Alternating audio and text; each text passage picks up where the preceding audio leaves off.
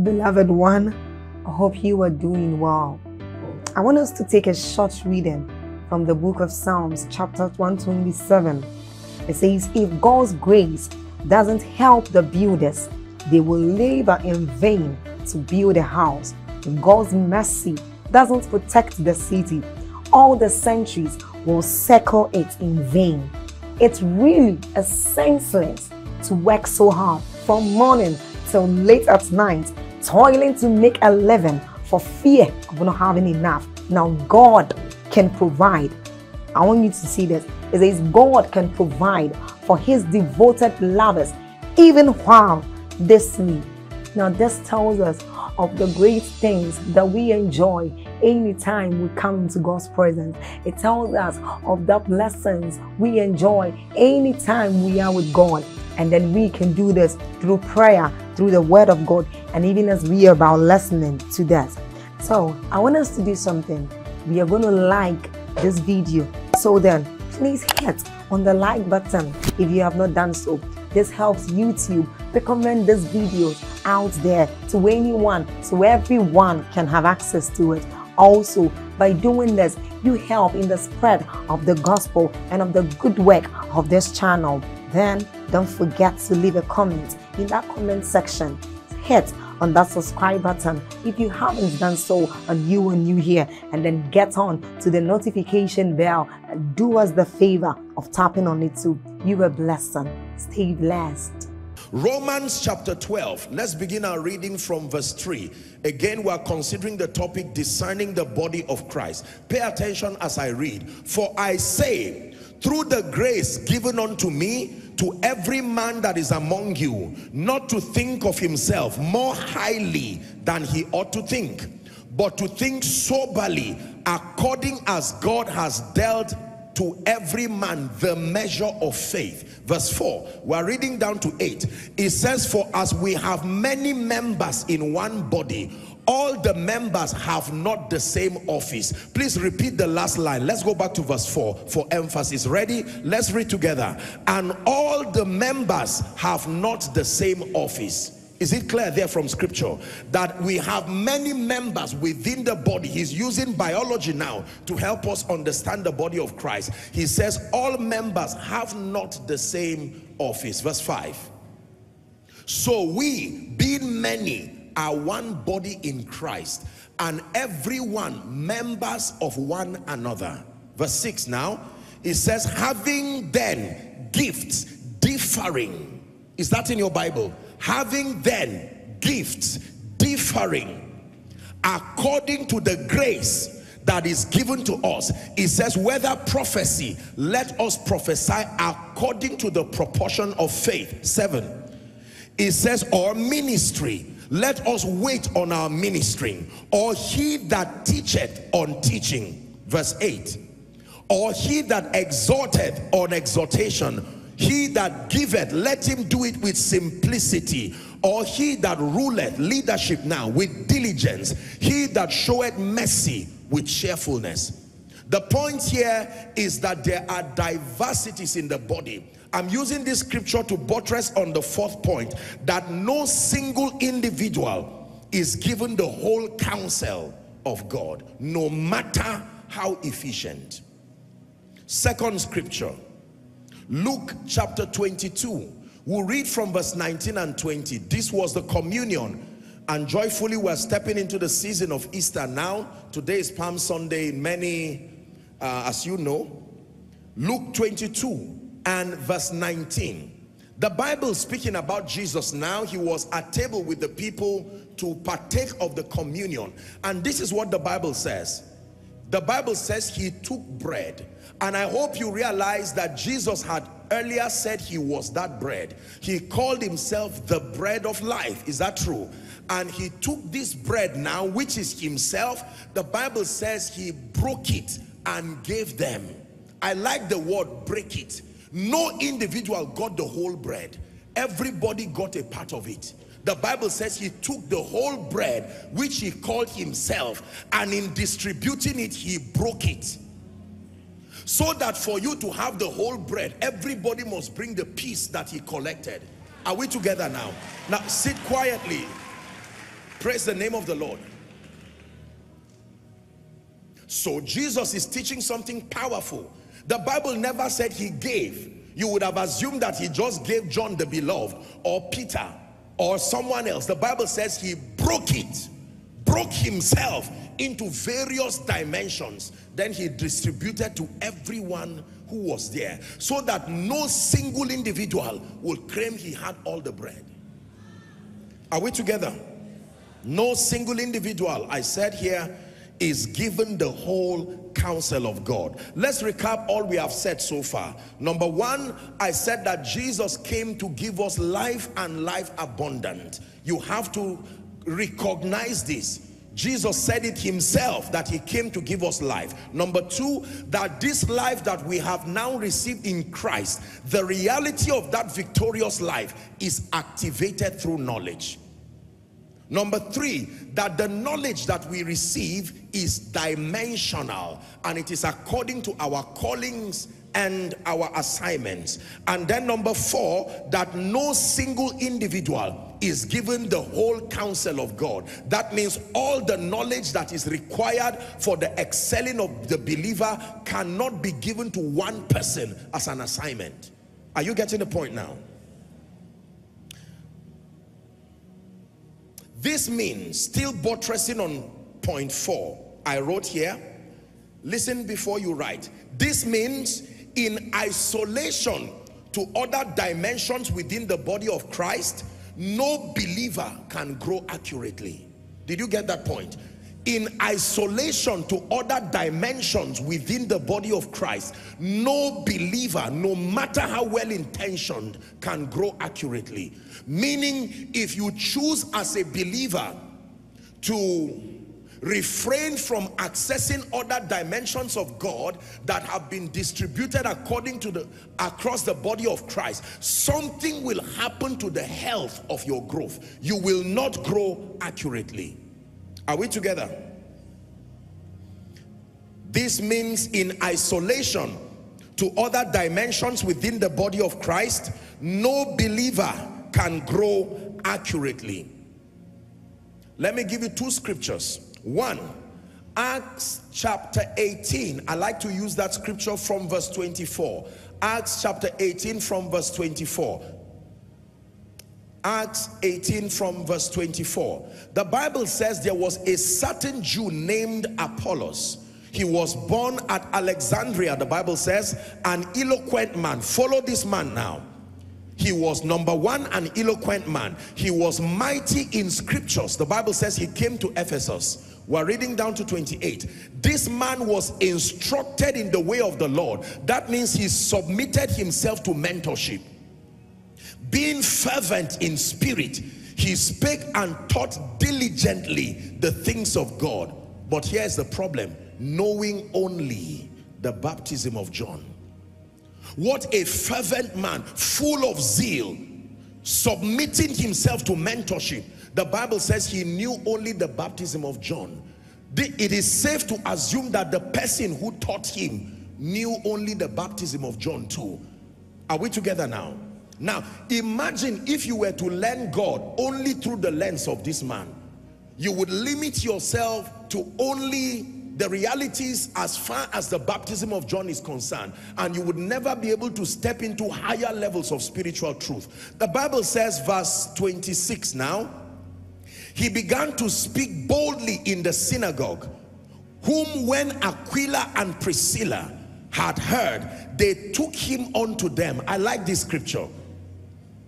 They had him and said, wow, what a zealous person. But this man is limited in a lot of knowledge. This man can be a better tool for the kingdom if we add these other dimensions to him. The Bible says they took him unto them and expounded unto him the way of God more perfectly. More perfectly. So if you had listened to this man by last year, you would be able to discern his limitations. And then two strange people called him and said, young man, you are a zealous person. I see your passion, but you are limited in knowledge. Let us supply for you other dimensions that make for your efficiency. If you were to listen to the same person by next year, you would see that he would come with another dimension of grace. Second scripture, Acts 19 from verse 1. Acts 19 verse 1. Powerful.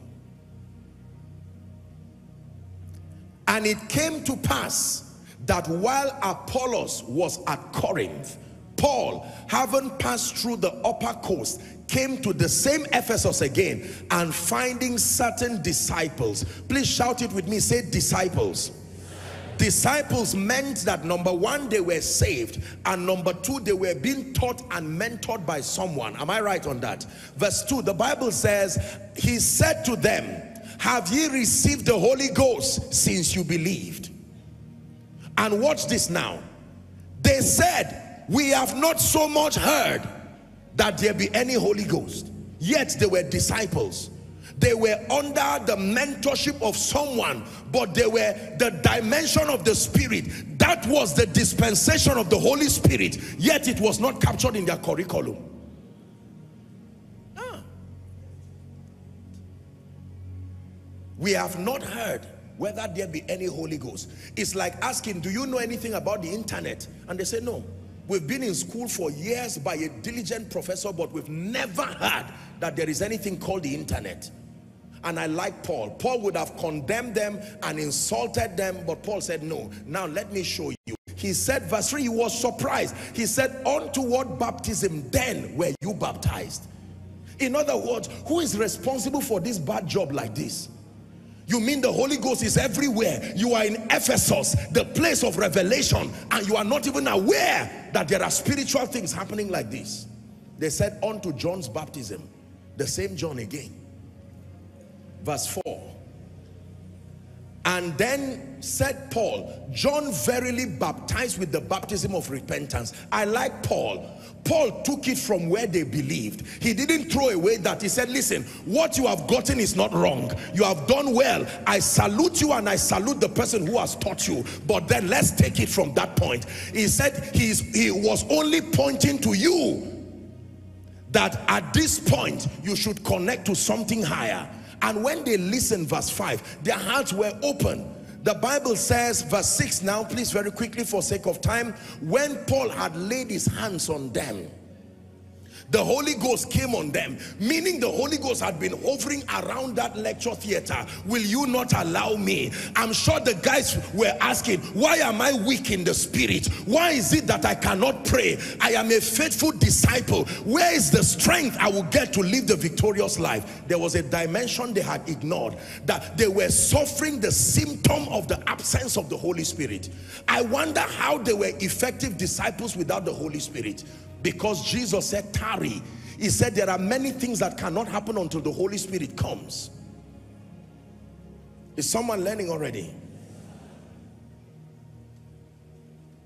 No single individual is given the whole counsel of God.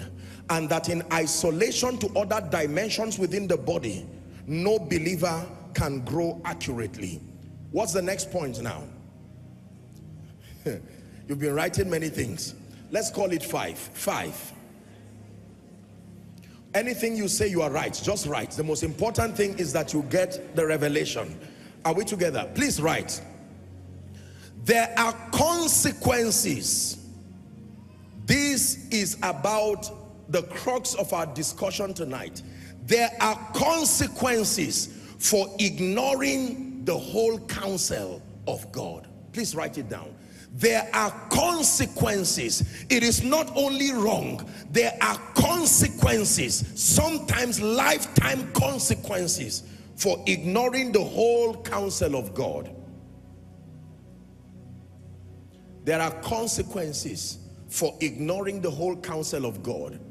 And could it be that some of the limitations in our lives today are the consequences some of the limitations that we have experienced in the various facets of our lives could it be that those limitations have come as a result of consequences of ignoring other dimensions of God that he has put within the body for our profiting? Let me show you a scripture that details the consequences of ignoring the whole counsel of God and by extension ignoring the body of Christ First Corinthians chapter 11, we'll begin our reading from verse 27. First Corinthians 11. Paul was teaching about the communion.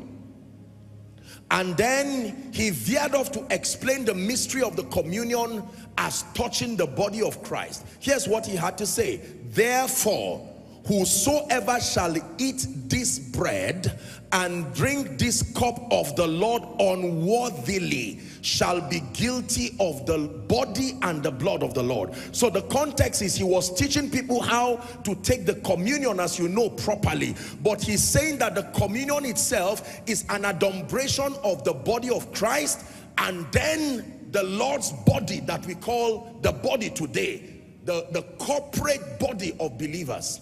28.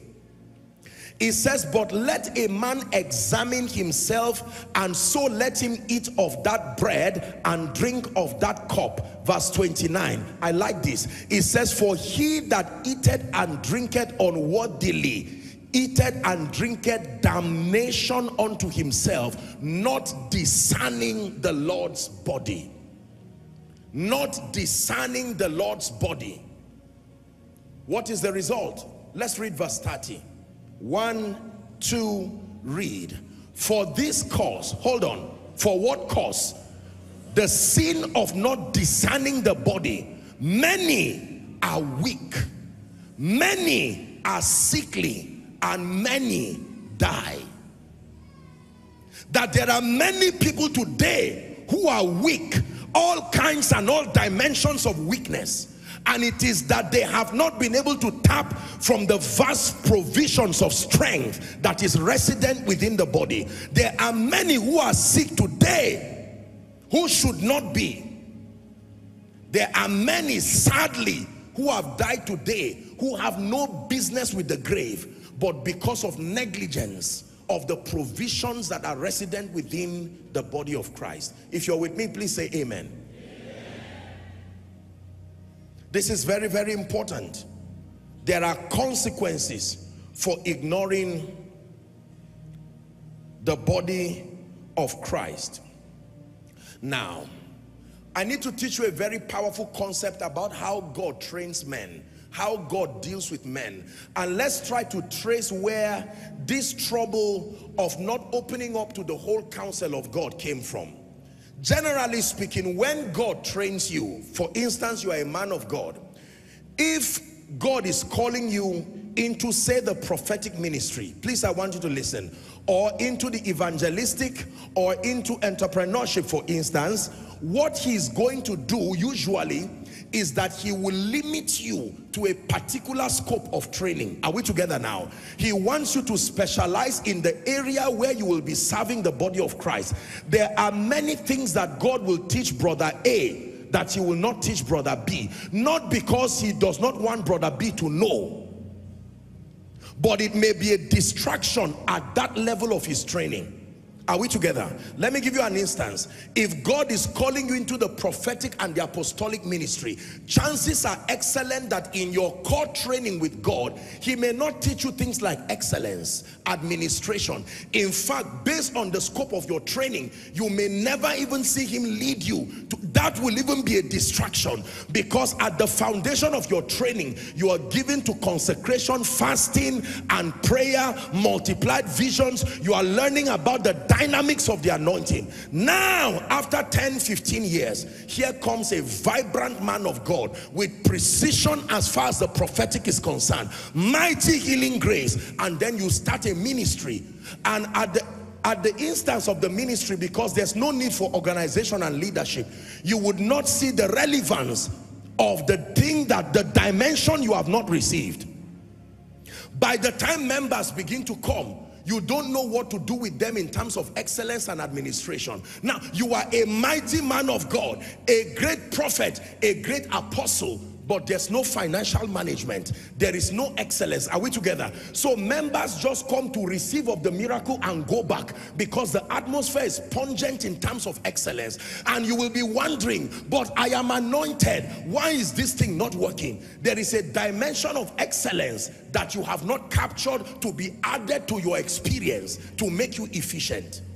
Now listen carefully. Now for another person because God called this man to be a financial apostle. God called him to be an entrepreneur. In his training with God, he will find out that God is training him on leadership, capacity building. He may hardly fast for one week, I tell you. He may, he may not see the value of fasting and prayer, praying and all of this because he will spend time developing his mind. God will give him a visa at age 19 to go to John Maxwell Leadership School. By 22, this gentleman had already, he may have gone to Harvard and the rest. World-renowned leader. And by the time he gets to 25 he's already a multi-millionaire working with a lot of intelligent people. If that person sets up an institution chances are excellent that when he sees someone prophesying and laying hands on the sick he will just say there's something wrong because of the bias that has come with his training. Listen carefully. This is a message that is bringing deliverance to many people so there is a bias that comes by default and God left it intentionally. In training you, you may never know that there are other dimensions that are needed in your life but not captured in your training. So by the time the Lord brings you and you begin your manifestation, you will teach and mentor people from the lens of your limitation. Are we together now? You will usually mentor people all that you knew in your training was praying and fasting and word study. That is what you are going to teach and train people for. Except that you will start seeing a widespread deficiency in their life based on the dimensions that you do not have but they need. Is someone learning? So let's assume that I have no knowledge of music my own is prayer and singing, but of my prayer and teaching. And then God raises some of these my precious people and I say they are not needed. You raise your voice and you are singing and people ask whether you are praying or singing. And you will not allow the diversities come. It doesn't matter. The most important thing is what I am saying. You see that you are going to, you will stop the potential of efficiency within the body that has come as a result of your limited training. There are many people today who have books that they receive from God, but the simple reason why those books cannot get to the globe is that they are poor. Simple. It's, as, it's not demonic attack. They are poor and they do not even know how to be global in anything. Yet, within the body, there are people who cheaply in five minutes they will teach you how to be global as a crash course. And and they will terminate limitation and mediocrity in your life. And yet because we are not able to reach out we remain stunted and limited. Is God speaking to someone? There are families today please listen to me who have suffered poverty and are suffering poverty. And when you learn God through those families God is misrepresented because you say what kind of a God is this who cannot empower a family? There are many preachers I grew up respectfully speaking seeing many missionaries and many preachers who loved God with all their hearts. Many of them today have joined the cloud of witnesses but they had no influence no efficiency. I saw their wives and their children suffer. Their messages did not make sense. What kind of a God is this? You advocate a kind God yet they are driving the man's child from school you mean such a responsible God who you are giving your all for cannot be so responsible to help the child because we had to learn God from the limited lens and the scope of many. It was a misrepresentation of God and sadly that is still happening within the body of Christ. Is someone learning? Now here's where the real problem is. The real problem is not our being dimensional or our being limited. The real problem, unfortunately, is when the limitation now collides with pride and ego. When the limitation that is on a businessman a man of God collides with pride and ego, it will equal a disaster. Because now to admit that I do not know everything, to admit that I am limited, that looks like a sting to my ego. I need to keep the semblance of invincibility to make members respect me. I need to keep a semblance of control that I know it all and I know everything. This is what has been destroying the body of Christ. Sadly, in Nigeria, across Africa, and even the globe. So I would rather someone suffer poverty for decades. I am not giving that grace but I will limit that person from accessing that grace cheaply. It is within the body. I would rather create a theology that makes it look like love Jesus no matter what. And that is true, but it is incomplete. There are many things that God wants to be captured in my life and your life, but they are not available with us, but they are available within the body. I want you to please listen very carefully. Having diversities of gifts. I have met men and women of God in this nation and across the world. And I submit to you that I am, I am, I am humbled by the investment of the Spirit that he has placed upon lives and upon destinies. I've traveled a bit and in my, my little sojourn, I have met with men in the business world, in politics, and even in ministry. And I, I have been tremendously blessed by the kind, the quality, and the dimension of God that is resident within those people. Imagine what would have happened to our lives if we became limited to say all that God taught me is all that I need to learn. The same Jesus who taught the disciples told them there is still more lecture coming. It will not be by me, but it is still profitable for you. If we rejected the teachings of Paul and said, Paul, who are you to teach me? Jesus himself was the one who taught me. We would never know the Pauline epistle. We would never know that we have been seated with Christ. We would never know that we're to stand fast in the liberty wherewith Christ has made us free. We would not even know how to ward off the arsenals of darkness. It was Paul who arranged the administration of the gifts of the Spirit in First Corinthians 12, 13, 14. We would never have known that there remained faith, hope, and love, but the greatest is love. It was Paul that taught us how to manage diversities in the body. Imagine learning God without Paul. But as powerful as Paul is, nobody taught love like John. He was not called John the powerful. He was called John the beloved. Whether his gospel or his epistle, when you read theologically speaking the four synoptic accounts, most of them started from an archaeological point or a historic point. Are we together? It was John that began his discourse from the divinity of Christ. John 1 1, he used the same expression that was in Genesis 1 1. In the beginning, same thing with Genesis 1.1 in the beginning. John was so into spiritual things. He was the beloved of God. Imagine learning the Bible without the book of Revelation. And the book of Revelation came from John.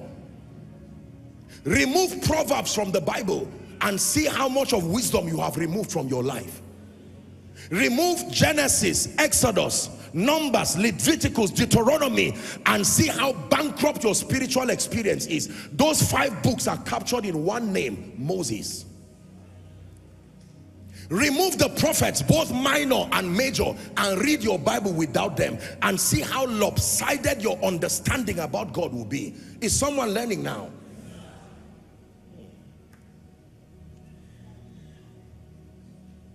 So let's assume all that I had to learn God was the book of Leviticus.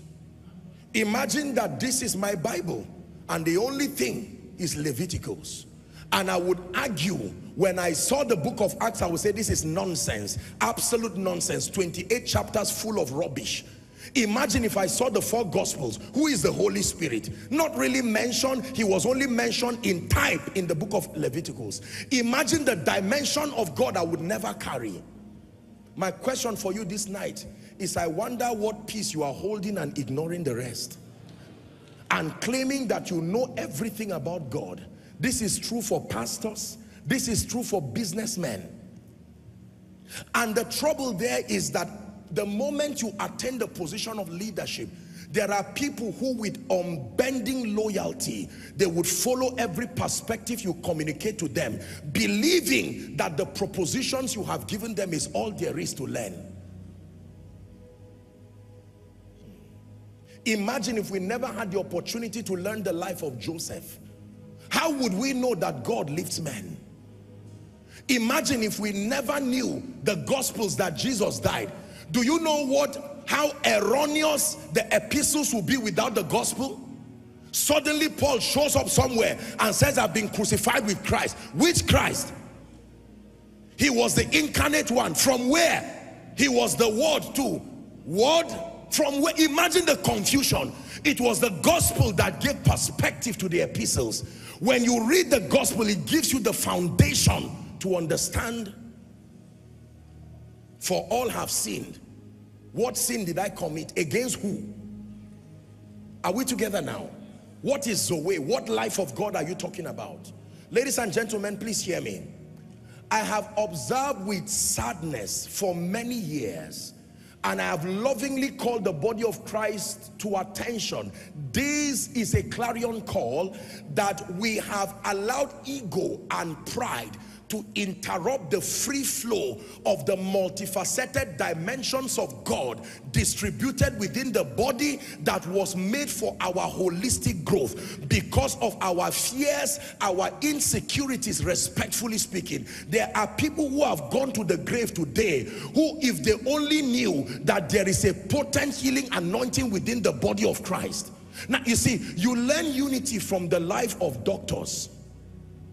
A doctor can meet a patient and when they are diagnosing something, the doctor can be a consultant, yet he's secured enough to say, well, um, there is a machine that we need to diagnose you. I do not have it in my hospital, but there are only 12 of them across the globe. I will write a referral for you. Is that true?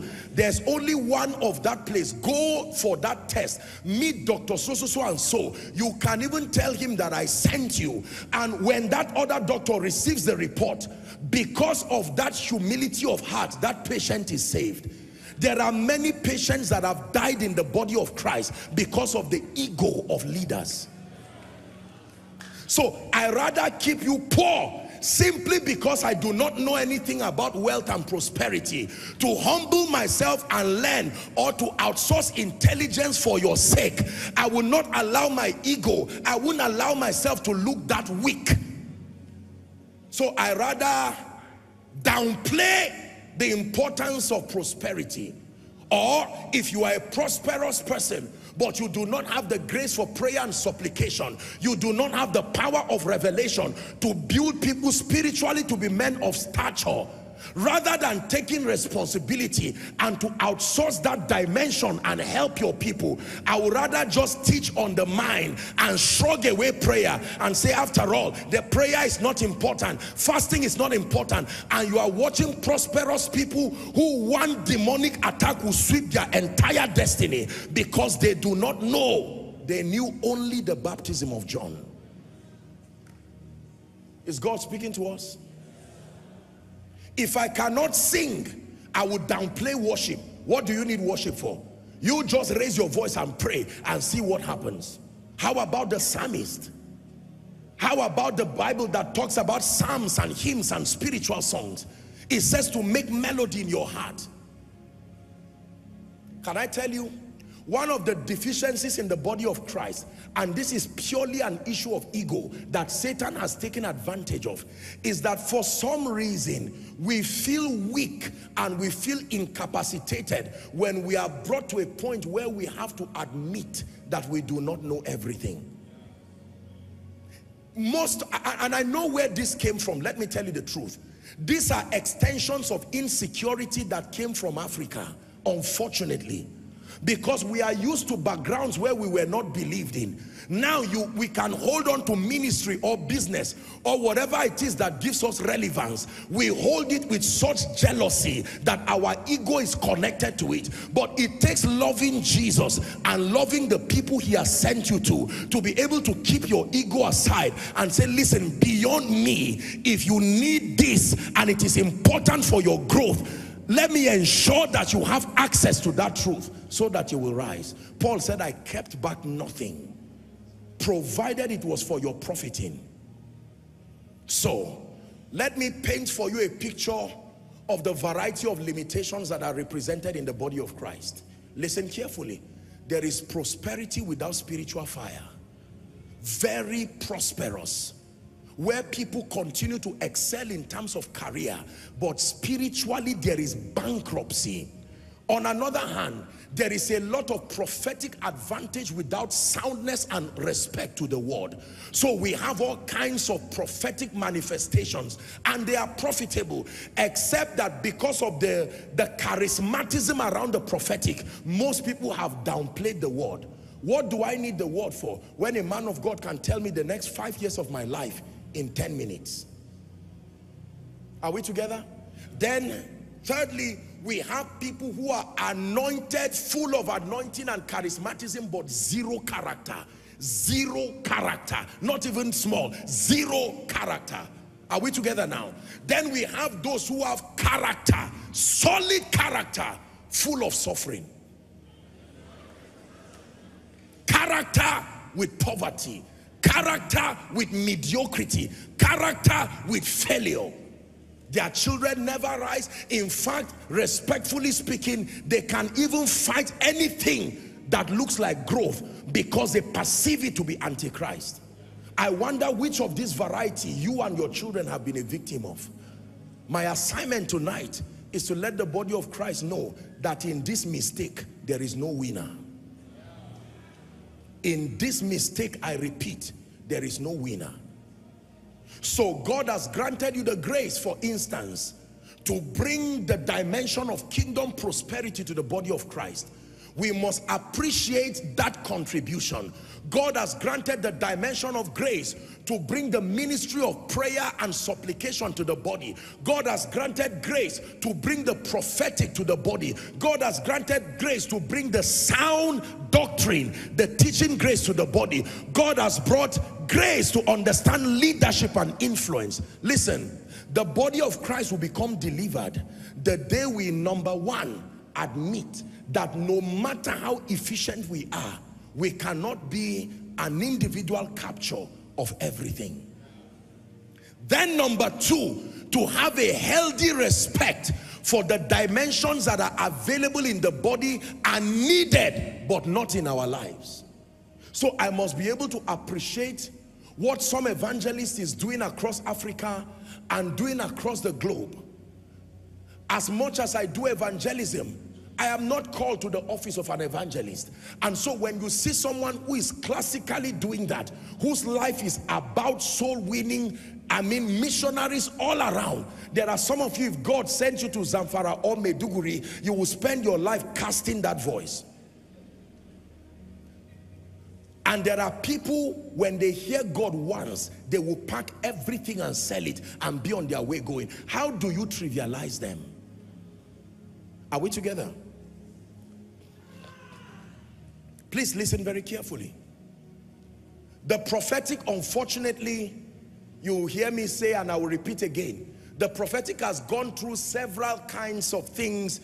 It needs a lot of cleaning up, I must admit. However, there are people who do not want to hear the word prophetic. Once they hear pro, they say, no, that is demonic, satanic. And you look at their lives and you can see the deficiency of the prophetic. You know that what they really need is the prophetic. Please listen. There is no tell them. God is speaking to all of us. So make sure you don't misbehave as you hear me teach. I'm giving a strong disclaimer now. Praise the name of the Lord.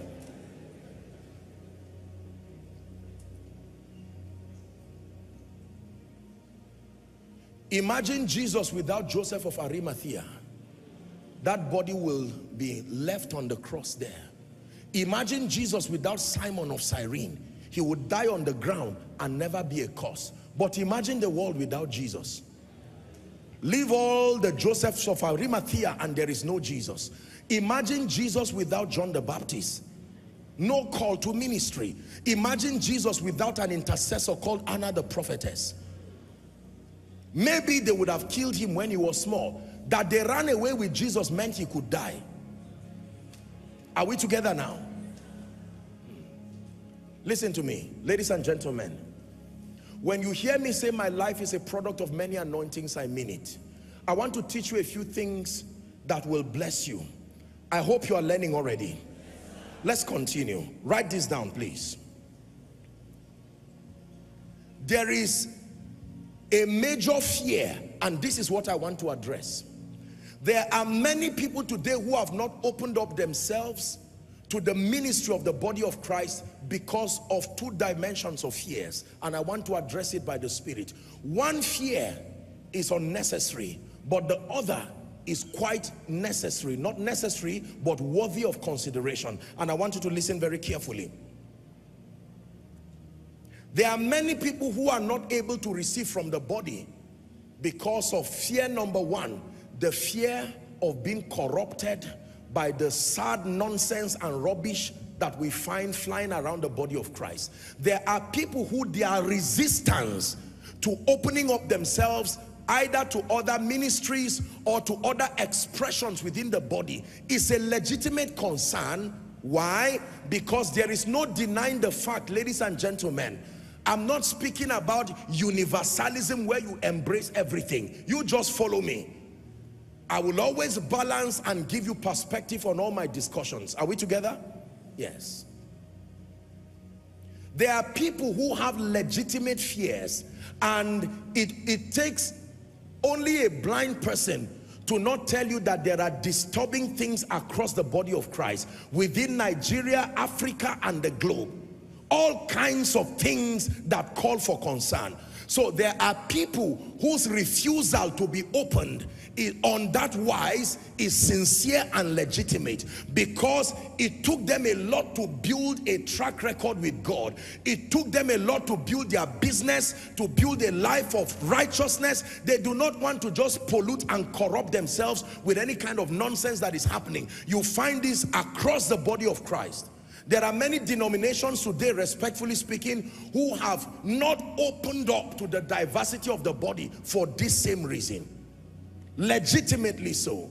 But then the second dimension of fear which is unnecessary the second dimension of fear that is unnecessary is the fear that has come by reason of believing. Listen carefully that if you open up yourself to the diversities in the body something will happen to your life and you may lose touch with God I can tell you it's an unnecessary fear I'm going to show you a scripture right now that will bless you. Is someone learning? The secret to receiving from the body of Christ is captured in two very profound verses. The Lord gave me these scriptures many years ago and it brought deliverance to my life. Let me share them with you. Are you ready? In Judges chapter 14, scripture number one, Judges 14 from verse 12 to 14. Judges 14, 12 to 14. This was Samson. Remember when Samson was on his way going back, he tore a lion, the Bible says, and he killed that lion with his bare hands. And now he was returning back to go and see Delilah and something happened. Samson said unto them, I will now put forth a riddle. If you can certainly declare to me within seven days of the feast, and find it out, then I will give you 30 sheets and 30 change of garments. What was the riddle? Verse 13. But if you cannot declare it, then you shall give me what I was to give you now. They said, put forth the riddle. Let us hear. Watch this. This riddle is the mystery behind the fear of receiving from the body and it is also the solution to receiving from the body. This was the riddle he said unto them, out of the eater came forth meat, and out of the strong came forth sweetness. The Bible says, and they could not in three days expound the riddle. Let me interpret the riddle for you. That out of the eater came forth meat, and that out of the strong came forth witness, uh, sweetness. You know what happened?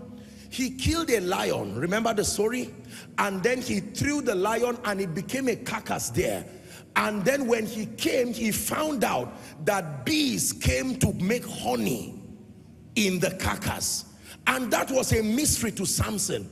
Out of the many green and the lush trees and branches, why would bees choose a carcass to come and make honey? It is not usual.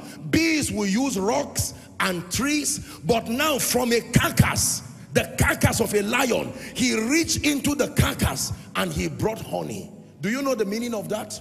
There is this treasure in earthen vessels that out of a carcass, something that is rotting, something that is decayed, yet sweetness and honey can still come out of it. This is the mystery to receiving from the body of Christ. It is true that there is imperfection in the body at many levels. It is true that there are people who are still rising and growing. It is true that the body of Christ over the years have been marred with several kinds of limitations. But out of that carcass, God has chosen to still put honey there. And listen, the secret to receiving is that if you can endure the smell of the carcass, then you can bring out the honey. You can't bring honey from a carcass without enduring the smell. The first thing you will need to endure is the smell of the carcass. But there is genuine honey that is locked up within there. I know that the man of God has hot temper. We are praying that God will work on him. But meanwhile, do not allow the temper stop you from receiving the prophetic because there is genuine prophetic there. And if because of your fear of, of, of anger, do you know what it meant to be a mentee to Elijah? Theologically speaking, Elijah was a hot-tempered man. You need to respect Elijah for enduring all the tantrums and the emotional swings that came from him. But one thing you could not deny was the authentic prophetic grace that was upon Elijah to the point that he was one of the two witnesses that appeared to Jesus, Moses and Elijah. Are we together? Whoever told you that you can only receive from perfect people, unfortunately, there is none. Let me repeat, unfortunately, there is none. Apostle, I love you so much. You have not seen me when I'm angry. You have not seen me when I'm hungry. Are we together? You only love what you have seen. This is an uncomfortable message, but it is a big, it will bring liberation to the body of Christ. Out of something strong has come something sweet. I know that in that ministry there is a lot of tribalism. By the time you land there and you are not this and that tribe, you will feel it from the gate. But can you endure that pain of tribalism? Because in the midst of the tribalism, there is sound communication of doctrine. Can you endure the smell of the carcass so that you receive the honey? Are we together? There are many people who do not believe that anybody can carry the grace of God simply because you are aware of the limitations that are around men. Even if Jesus were on earth, you would have still run away from him. Your Jesus that you love so much, find out what he did with, with a whip in the temple. Imagine if your uncle was part of those who were flogged there. That your uncle returned back with scars. Who flogged you? Not a demon, not Beelzebub, Jesus, the savior of the world, he didn't preach to me. He didn't ask me to repent. He didn't hold me like a dove. He flogged me. Are we together? So imagine the day they called Jesus Beelzebub and you were there. You will be happy to concur. That's the Jesus you are saying you love. Full of compassion. That he came and healed a few people and left others. The same Jesus that stood and called people older than him brood of vipers. Where then is respect? Flawless Jesus. Sinless Jesus. An exceptional leader. That's the kind of pastor I want. Don't blame the disciples for being angry. They had to say, Jesus, let me tell you, we are respecting you, but if you are playing with us so that you will run away one day, you are not going to have it easy with us. We have left all to follow you. We are not understanding your ways again. Listen, listen. I'm, I'm teaching you something. I hope you are learning. There is no perfect man of God. There is no perfect man or woman anywhere. This is not an endorsement of limitation and to not give us the appetite to press for growth. That is not what I'm saying. But I am saying in every church, in every denomination, can I tell you, you will need to endure the smell of the carcass to pick the honey that is there. There are men of God who are arrogant there are men of God who are tribalistic, unfortunately and sadly. There are men of God who are very full of themselves. There are men of God who are very laissez-faire. It doesn't matter what happened. You can tell them they stole something. You say, sorry, God will do something to you about it. And that sense of leadership and responsibility is not there. But in the midst of that carcass, there is still honey. Can you endure the smell Smith Wigglesworth used to wind his hand at dead bodies. They once brought him a dead body, the story records, and he wound his hand and gave the dead body a punch. Imagine that were your child. And you said, man of God, I hear that you raised the dead. And he says, stand back. And he's winding his hand. You thought it was a prophetic act. And the next thing, he will punch that dead body. The first time. And he said, come back to life. And the dead body falls like a pack of cards and he's about to repeat it the second time. Yes, read your history books and they will tell you. And he punched the second time and by the third time, he punched and the dead body coughed back and came to life. How do you explain that? How do you explain a savior who spits on the ground and uses mud you brought your kind relative who has been suffering. Please open the eyes. And the next thing you see someone with dry mud. Then he tells him find your way and go to a pool called Siloam. Go and wash and you will see. Will you return to such a church?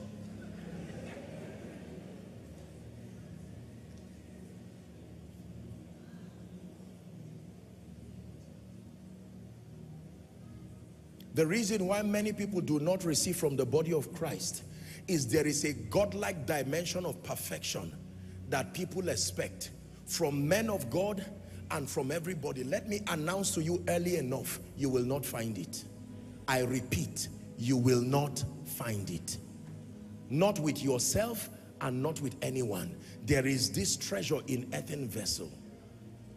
I wish you was just quiet. I wish you don't really used to shout. Why is it that the guy shouts at demons up and down like that? Well, God saw that limitation and still kept the anointing upon him.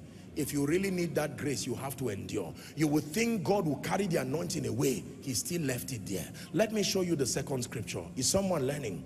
Scripture number two is found in Revelation chapter 1 from verse 10. Revelations 1 verse 10.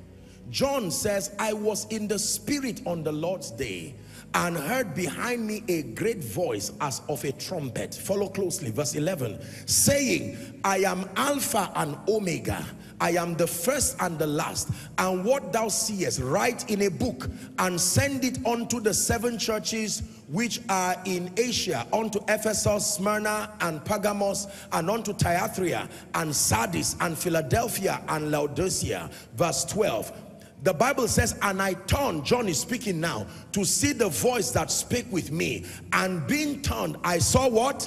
Seven golden candlesticks. So he's looking for the person speaking to him. And his attention is drawn and what he sees, seven golden candlesticks. Verse 13. In the midst of the seven candlesticks, he kept looking at the candlesticks and he said, I saw one like unto the son of man clothed with a garment down to the foot and girt about with paps and a golden girdle. Do you know what that meant? So he hears a voice directing him that I'm about to give you a series of revelation. Make sure you write them. He turns to find out the voice and the first thing he sees is the church. The seven candlesticks, the Bible in interpreting this says is the whole church, the Catholic church. The word Catholic means the universal church, the collection of the body of Christ. Is it not amazing that before he saw God, he saw the church? It was when he kept looking at the church, even in that imperfect state, he said, in the midst of the candlestick, I still saw Jesus there in the midst of the anger problem, in the midst of the limitation in the body of Christ, as I looked to hear the voice, an accurate voice came out of an imperfect body. And as I turned to see, I had to see the church first. As I endured looking at the church, I saw Jesus standing in the midst of the church. Standing in the midst of the church with all her imperfections, with all her limitations, I still saw Jesus standing. This is very powerful. Ladies and gentlemen, when you look for trouble in any church, you will see it there. When you look for all kinds of sentiments, you will find it there. If you look for Satan in any church, you will find him there. I can assure you, if he was in heaven, he's on earth. Where else will he not be? He has been everywhere. But when you look for Jesus, you will find him.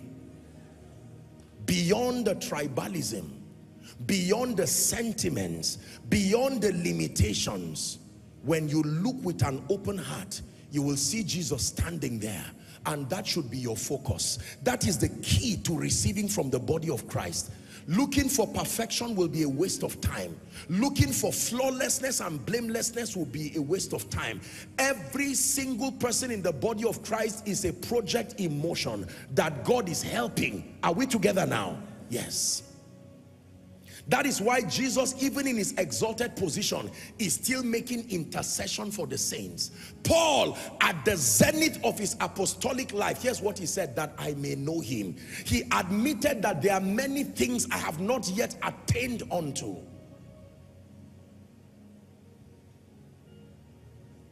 For as long as what we are looking for is perfection and flawlessness, when the Bible says, be ye perfect, the word there is not blameless, is the word matured. He's talking of maturity to attain unto a stature by grace. That is a possibility and that must be the press of every believer.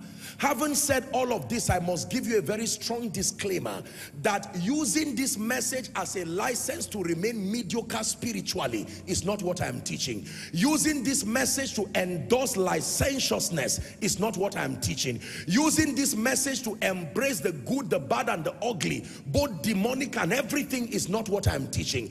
This message is a clarion call to reveal number one, that as an individual, we do not sustain what it takes to communicate the entire counsel of God as individuals. There will be a need to understand the diversities in the body and to be open to receive from the multifaceted dimensions that are in the body. No matter how I teach you on finances, no matter how I show you the way of the Lord, you cannot come close to veterans in finance, men like like Pastor Sam Adeyemi. These men are not just business people, they are called. It's a mantle, it's an office, it's a mandate. Are we together? No matter how I evangelize and go around the world, you will not stand close to a man like Reinhard Bonnke of late, a man like Billy Graham, a man like Benny Hinn. These are men who were called by God. They were given the keys to nations.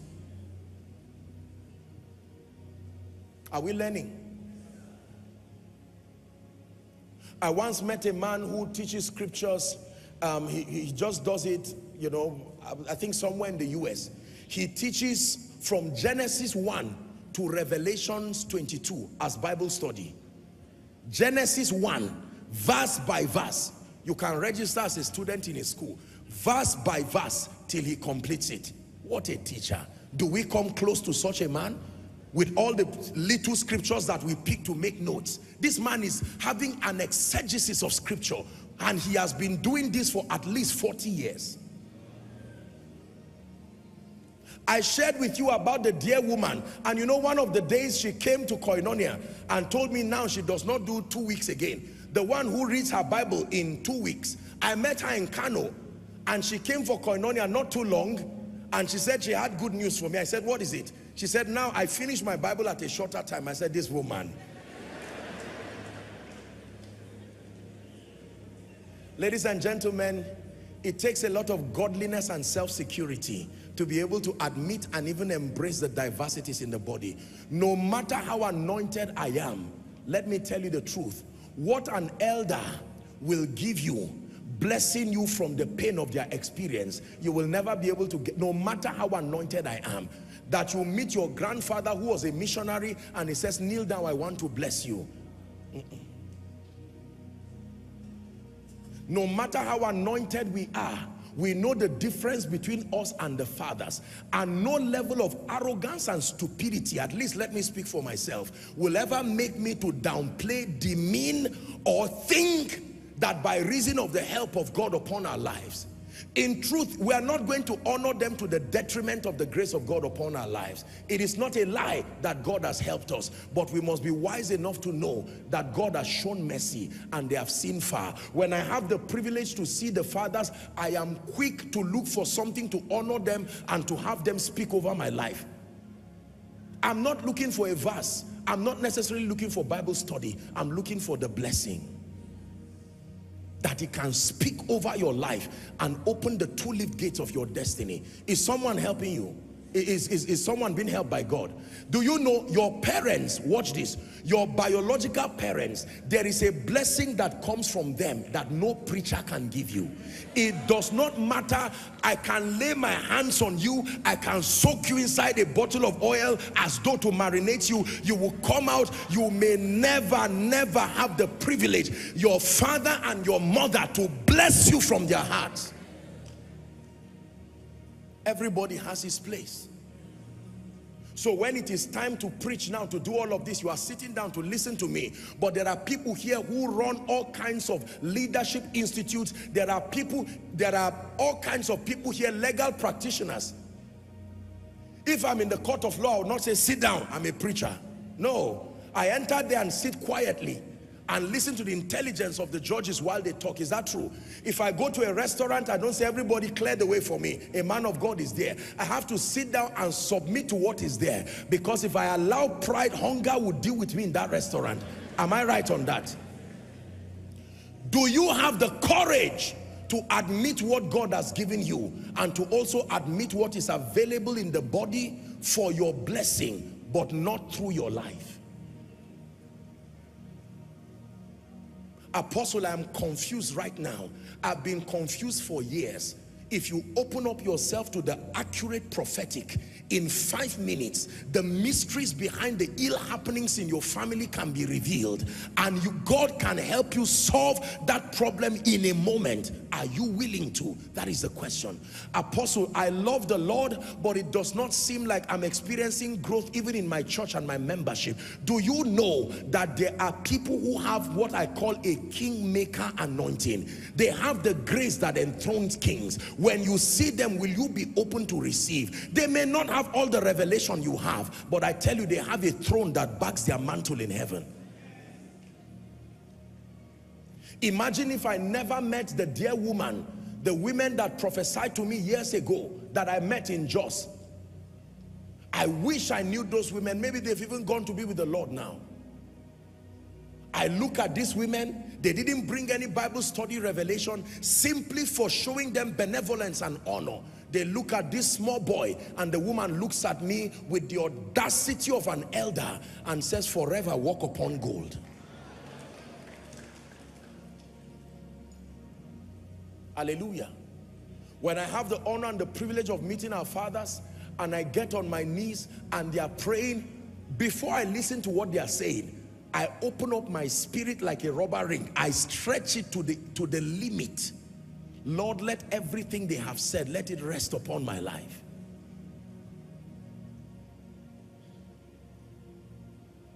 What grace, what dimension in the body have you neglected to your detriment? Could it be that if you really believe that the healing anointing is in the body of Christ, the sickness that is plaguing you now, there are many people who may not be staying far from this place, but the miracle service will be happening. They are seeing what God is doing, but that open-heartedness to come and receive, it may not be there. Isn't it amazing how many people can die close to the anointing? It is a tragedy that should never be. Apostle, my child is not doing well in school. Do you know there is somebody who has been given grace within the body of Christ? No matter how dull the head of your child is, you just hand that child to that person. There is a grace. They can turn that weak child to become a genius. Have you seen people like that in the body of Christ? So why then do we still have people not doing well, whereas these provisions are in the body? It is largely pride and neglect. That is the truth.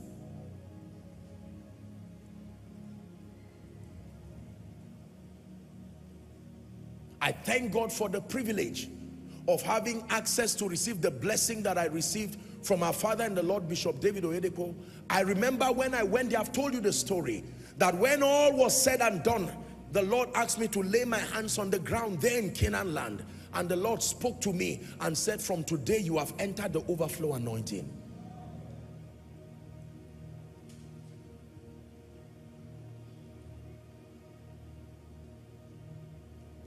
There's a light that I see in spite of all the darkness that surrounds me and this light that I see only comes alive every time I hear your voice.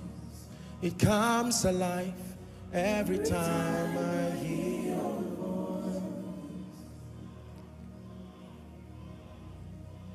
From the elder you have neglected to the entrepreneur whose wisdom you have neglected to the prophet who you have pushed away because it does not carry a semblance of what you like to the apostle whose ministry you have refused to receive.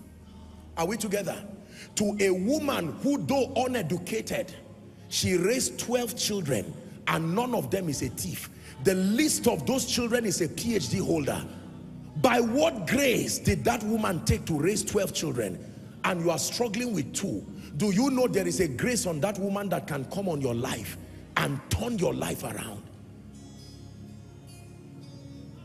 Are we together? For this cause, many are weak. For this cause, many are sick. For this cause, many sleep. I have admitted to the body of Christ and to you and I will do it forever without shame. We do not have everything our assignment is not to do everything. Our assignment is to be faithful, dispensing the dimension of God that has been committed to us. Are we together? While honoring the diversities that are spread across the body and receiving it for our own profit in ourselves. When I have the privilege of businessmen and very wealthy entrepreneurs, when I have the privilege of meeting with them, they may come to respect me, apostle, we came for prayer. And sometimes I'll say, we'll do the prayer after the discussion. But let me learn what I do not know. And in five minutes, years and decades of intelligence distilled through a heart that is willing to transfer knowledge. You would learn something in one moment that can help the ministry. Let me tell you something. Years ago in Zaria, when we were about, I think it was when we were about to start Koinonia, Already we had meetings and the ministry was ongoing. But when we were about to start Koinonia properly, the Lord gave me an instruction. And the group of people, then we're about maybe three, 400 people.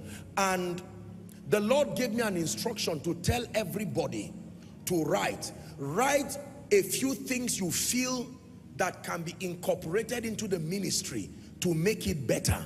Don't write your name so that there's no fear. And don't be nasty, don't, don't be disrespectful. Just write your observations. Ladies and gentlemen, I sat down on every one of these and wrote some of the things, the principles and the ideas that run this ministry today were not my personal inventions. They came because I appreciated the people God gave me. And I said, please suggest whatever can make this better and you can you listen as anointed as I was there were things I could not see.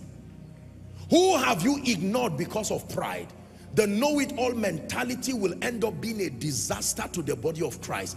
Thank God for technology. It is decentralizing this pride right now. Because you see, I foresee that in the next few years, people will start asking questions in the body of Christ, respectfully speaking, that will challenge us men of God. Because we have taught certain things we need to politely withdraw with humility People already have access to superior teachings right now and they are learning more superior ways of the kingdom and they are comparing spiritual things with spiritual and saying, listen, something is wrong somewhere. Can I tell you, if you're a man of God here, please hear me. Co-laborers in the gospel, I speak from a heart of love. Let us be unashamed enough to admit that there is more than what we carry.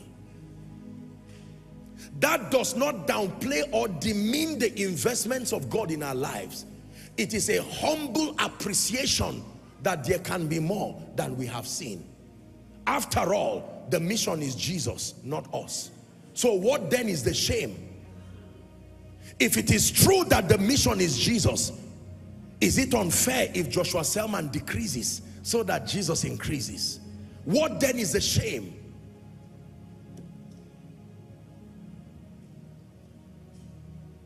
It's in you, Lord. It's in you, Lord.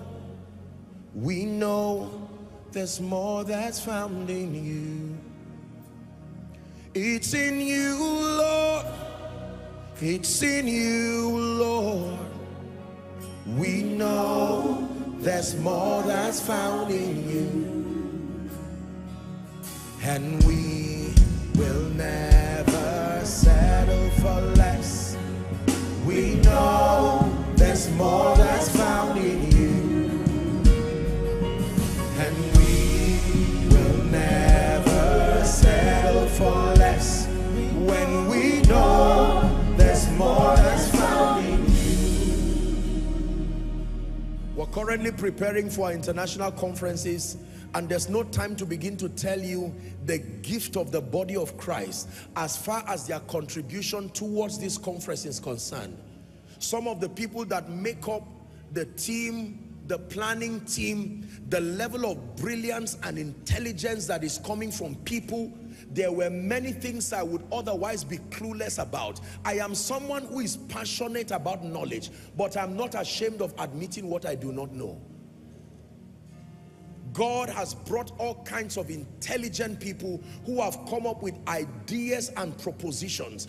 In preparing for this conference, I've had to call a few people who have had experience on that wise to say, is there anything you can teach me? I know that there are some things I need to learn. I will not carry the pride to say, after all, the person who is talking to you is not a failure, but this is not the best of you.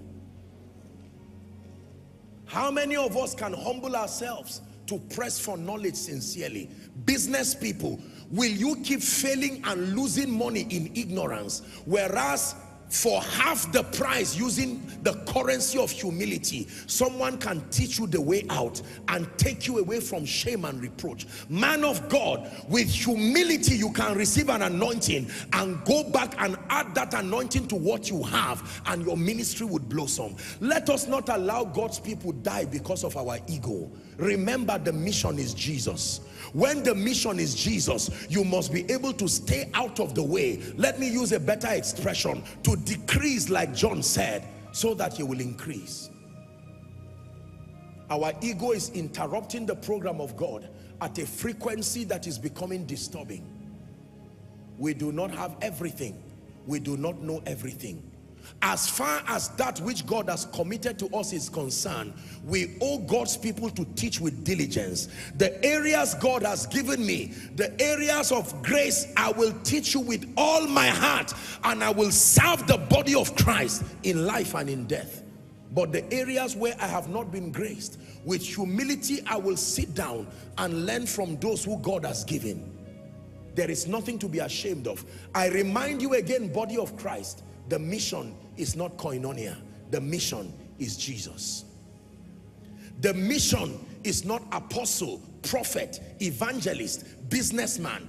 The mission is Jesus. I pray that the body of Christ will grow and mature to a stage where we are able to diminish our ego and our insecurities that have come from our backgrounds to throw away our prejudices and to focus on exalting Jesus. Koinonia, for as long as I'm alive, I will never let my ego to let you die in limitation. No.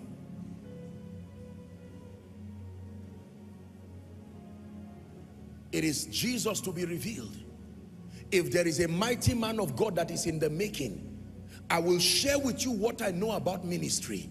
And when I reach my limit, I will recommend books by veterans who have a greater track record than me. And I will tell you unashamedly study their materials. They will do a better job in building you than me. It is not insecurity. Let me teach you something. When you are willing to lose, that is how you will gain. Members are not stupid people when they discern insecurity and manipulation that comes as a result of insecurity, they will run away. Jesus said we gain things by the willingness to lose them. Koinonia is not my ministry. I am only a privileged steward over this. It belongs to Jesus. God forbid if I die today, the ministry will not end. I am too small a factor to impede the program of God. It is a privilege that I'm alive and having the honor that God has given me in my lifetime to do what I'm doing. This is the orientation we must have in the body of Christ. And please don't tell me it does not matter. The destruction that our ego and ignorance is bringing to God's program is becoming a matter of casualty. We must be able to trust God I travel and I meet a great man of God, an evangelist. Oh, God bless you, sir.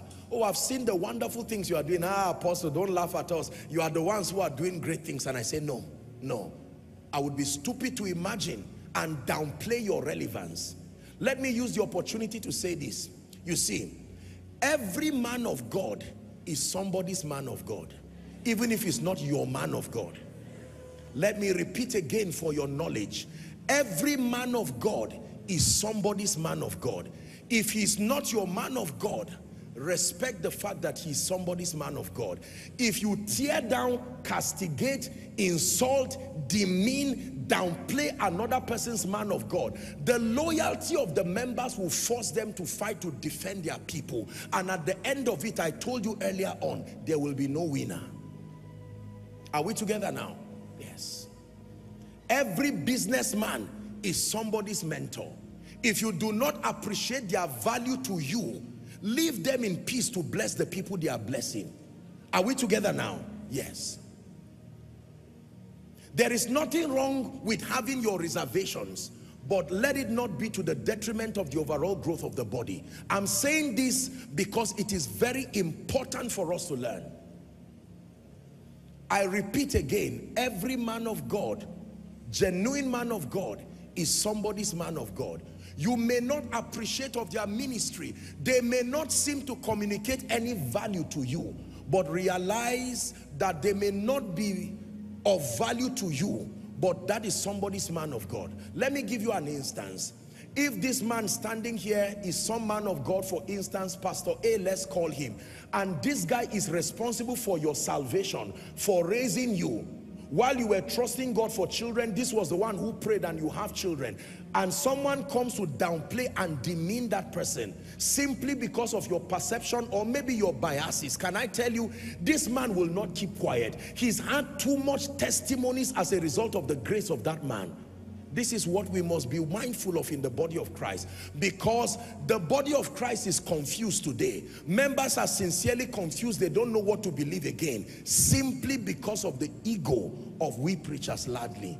It's time to shelve our prejudices and our pride and to exalt Jesus. If Jesus is not afraid of the current state of the church, you are not greater than him. Allow him to be the head of the church.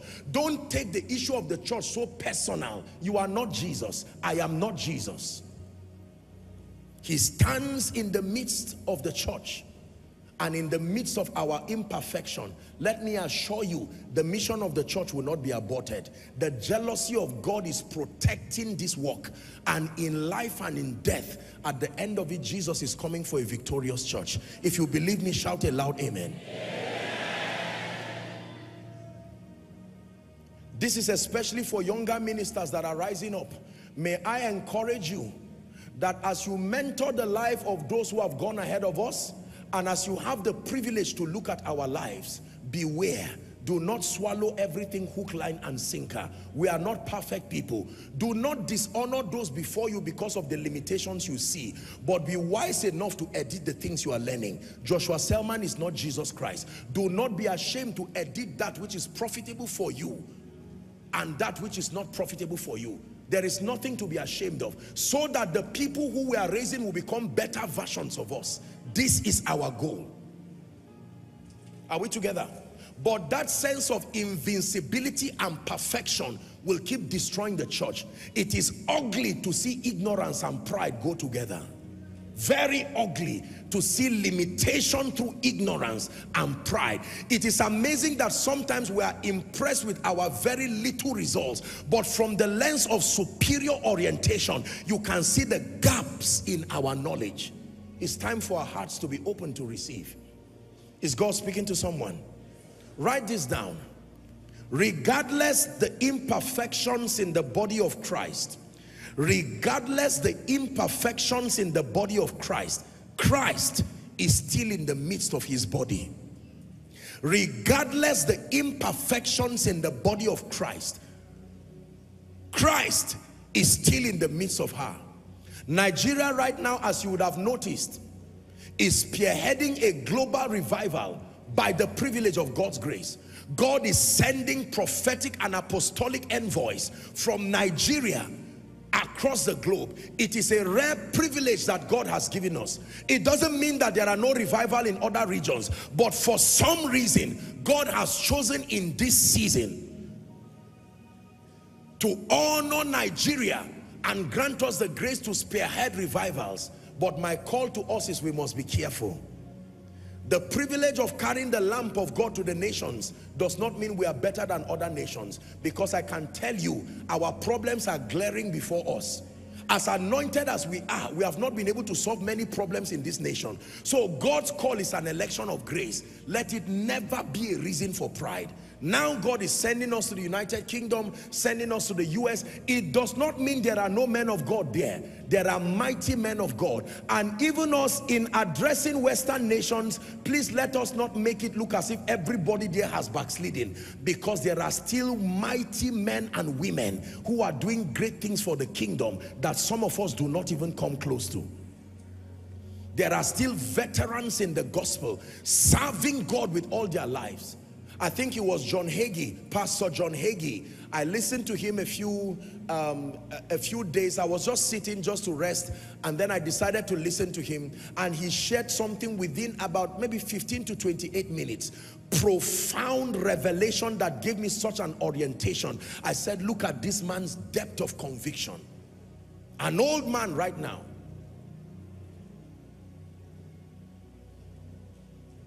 If you call Joshua Selman anointed, you did not lie. If you say Joshua Selman is trying as far as doing his best for the kingdom, you did not lie. If you say Joshua Selman loves the Lord with all his heart, truly you did not lie. But if you say Joshua Selman has everything, you lied. No, you lied. There are many dimensions you will need in your life that may not be available here. Our, our dream is to see to it that we piece together by knowledge. You see, when we seem to sound complete, it is not because we were intrinsically complete. It's because we became students of other dimensions of knowledge too. That is why when we speak, there seems to be a level of healthy balance. It is not because we were balanced by default. The bias of our trainings would have still affected us, but because we outsourced dimensions that was not captured in our training, but needed for our growth. I didn't learn excellence and leadership and administration by default. We learned fasting and prayer and spirituality. Yes, it came with our training. But these other aspects did not come with our training. We had to outsource it from the intelligence that is invested in the body. And thanks be to God that we opened up our hearts to receive this.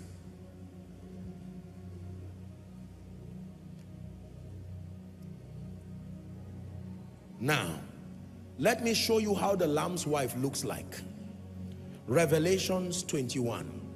The Bible calls us the bride of Christ. I want to show you how the lamb's wife looks like so that if that does not look like you, you will know what to adjust. Revelations 21 verse 9.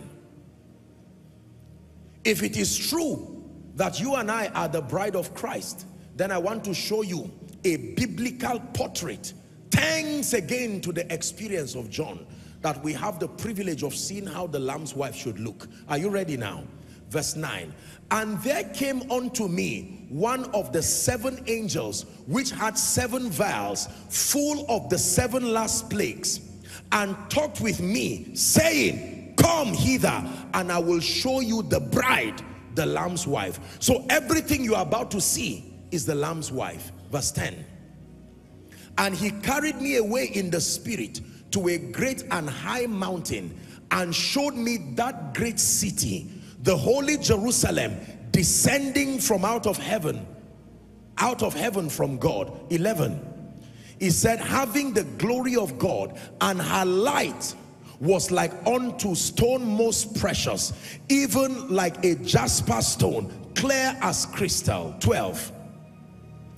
And had a wall great and high, and had 12 gates and at the gates 12 angels and the names written thereon which are the names of the 12 tribes of the children of Israel. Verse 13 it says on the east three gates the north three gates the south three gates the west three gates. Next verse please. And the wall of the city had 12 foundations and in them the name of the 12 apostles of the Lamb. Uh-huh. And he that talked with me had a golden reed to measure the city and the gates thereof and the wall thereof. Next verse. It says, and the city lieth four square. This is the verse of emphasis. Watch the Lamb's wife. And the length is as large as the breadth. And he measured the city with a reed 12,000 furlongs. Let's read the last sentence together. And the length and the breadth and the height of it are equal. This is balance and perfection. This is the Lamb's wife. No exaggeration. No over exaggeration of dimensions to the detriment of another. Let me have seven of my gentlemen. Please come. Please come. Any one of you, just come. Just come and line up here. I want to show you something as we, let's appreciate them. Just come and stand facing the congregation. One, two, three, four, five, six. Any one more person? Come, protocol or whatever, it don't have to be, just come. Now just stand and space yourself. Look at this. Let's call every one of these gentlemen dimensions in the spirit. This together represent the seven lampstands. This man, for instance, has been given the gift in this example of revelation. You want to understand the mysteries of the kingdom? Come here. Say this man has been granted the grace for prayer and supplication.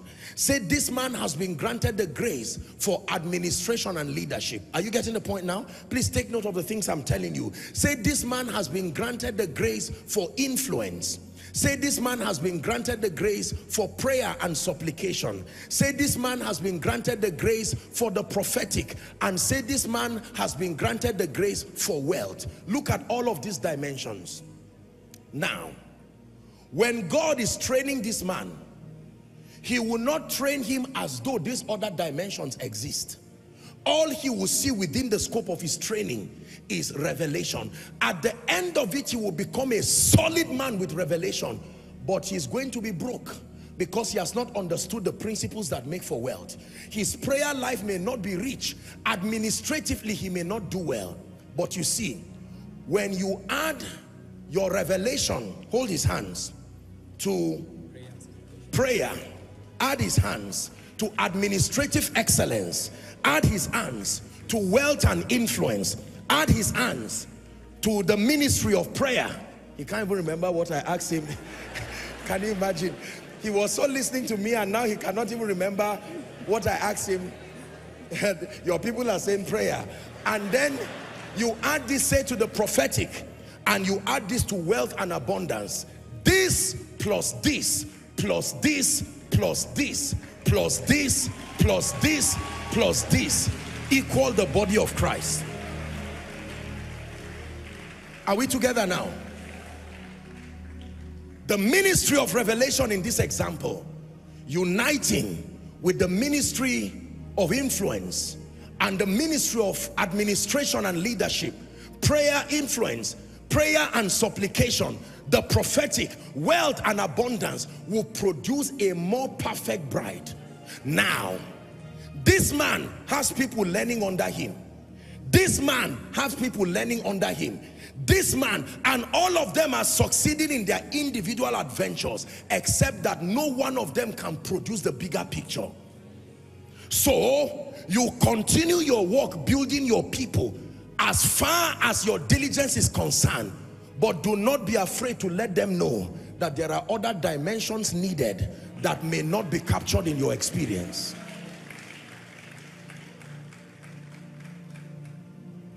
the day you are teaching on revelation everybody here keeps quiet and listens to you because it is your office where's my prayer man that when this man is praying thank God for your revelation but keep quiet and learn on prayers are we together? When this man is teaching on administration, don't just know it away. It's not only demons that cause failure. Chaos and disorder can cause failure. In heaven where Satan is not, order still remain there. So you receive from this man and then grace for influence. You may be anointed but still small. You need to access to know the dynamics of becoming a voice. Can I tell you? I pray and I look forward to the day that God in his infinite mercies will work on us men of God and purge our hearts from the guile of ego, the guile of that sense of self-consciousness to a point where we can allow the various dimensions of the body to find expression to produce the kind of bride that Jesus is returning for. We are tired of poverty in the body. We are tired of lack of character in the body.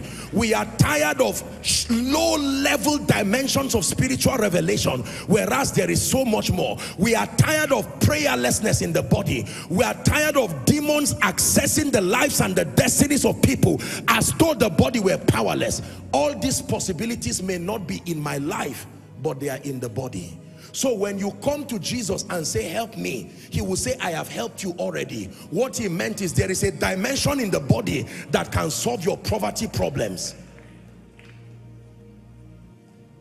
Father, I am tired of serving you. I'm a man of character, but I am poor. He will refer you to the body. The body has what it takes to bring you out of there. Lord, my ministry is not going global. He will refer you to the body so you see, when he says all things are possible, it is because he broke himself and he gave the body. Listen to me. You have to understand this. No matter how anointed I am, I'll not be able to sing like my precious people. I sacrifice my singing for preaching. A beautiful sacrifice, by the way. As far as my assignment is concerned. I used to sing better than this. Sadly, it may not return easily again. But I must be able to appreciate them. Are we together now? Yes. I want you to look at this. What dimension have you ignored in loyalty to a man of God? What dimension have you ignored? And I confess our insecurities sadly. I'm not saying this to demean the body of Christ. You know this. I have respected and will ever respect the body of Christ. You will never find dishonor to the body, not from me. This is not an advocacy to look down on your pastor. This is not an advocacy to not be faithful. No, I am not teaching on faithfulness. In terms of administration and in terms of the call and assignment, everybody will have to be planted somewhere. But listen to me, I will still repeat that no single individual can carry the entirety of what is needed, but we can be beneficiaries of it. So, revelation, I repeat again, the grace for prayer and supplication. You can find this man fasting for six months, non-stop. This man can fast for two weeks dry. Do not bully this man it is not within the scope of his call. Let him be comfortable supplying the dimension and do not look at him as less of an anointed man.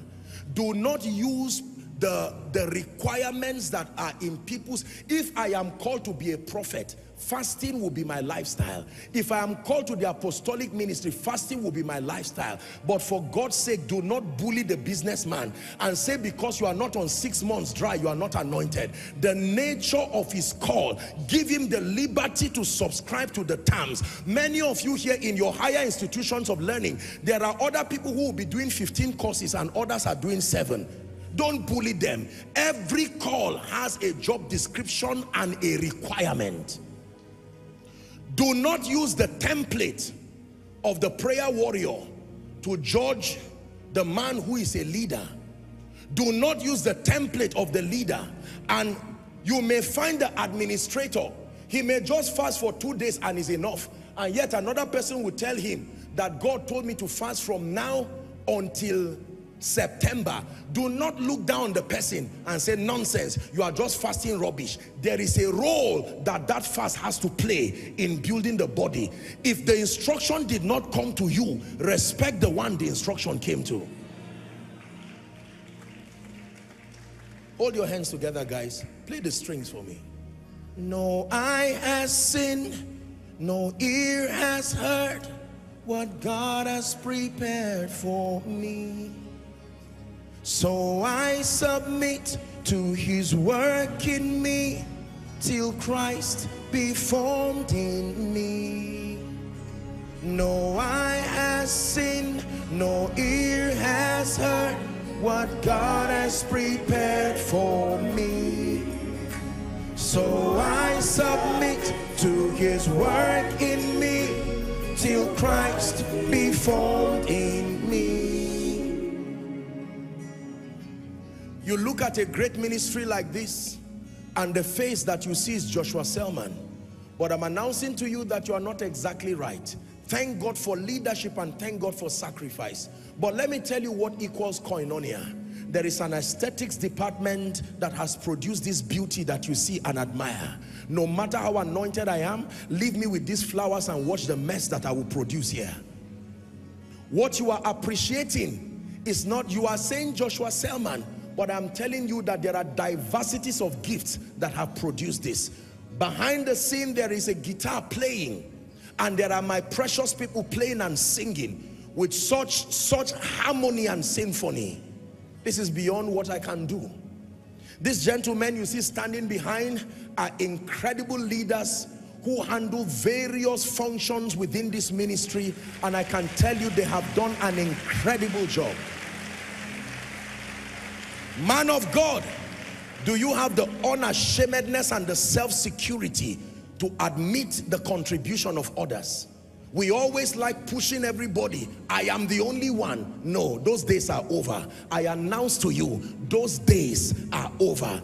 Jesus is ready to press his body to a higher dimension of perfection and no single individual will use ego to stop God's program. His hand has been stretched forth already. There is no going back. Are we together? You step into this place from 6 a.m. in the morning. You find out that there are people who are already working, laboring we are there, we may be praying and doing the things we're doing. But ladies and gentlemen, there are people who are working. My precious people have been standing behind the camera.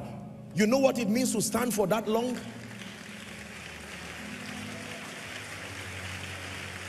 Now, hear me. How about the many across the nations of the world who have donated their houses, their churches, donated their grounds, and at their own cost, they have put all kinds of LEDs to make sure that as many would sit down and follow this broadcast. How will you dare say Joshua Selman is the only reason why this is happening? Body of Christ, it's time for us to wake up. Put all our pride and prejudices i don't like this i don't like that throw it away it's the same heaven we're going i wonder what we'll do when we get there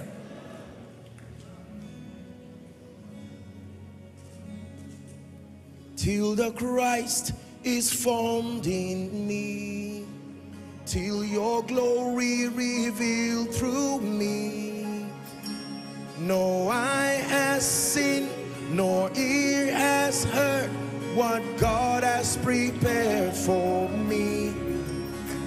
So I submit to your work in me till Christ be formed in me. Let me tell you the truth. As a person and as a ministry, I have my reservations. My many reservations across the body of Christ. There is no denying and there is no hiding. But it's too small a reason to practice hate. It is too small a reason to demean, downplay. No, I will not do that. I have my reservations. There are things you will not find practice in koinonia. I assure you for as long as I'm alive. I, I have read my Bible and I know by the grace of God the things that are scriptural. We have learned from fathers, we have learned from doctrine, we have learned from experience, and we have learned from history.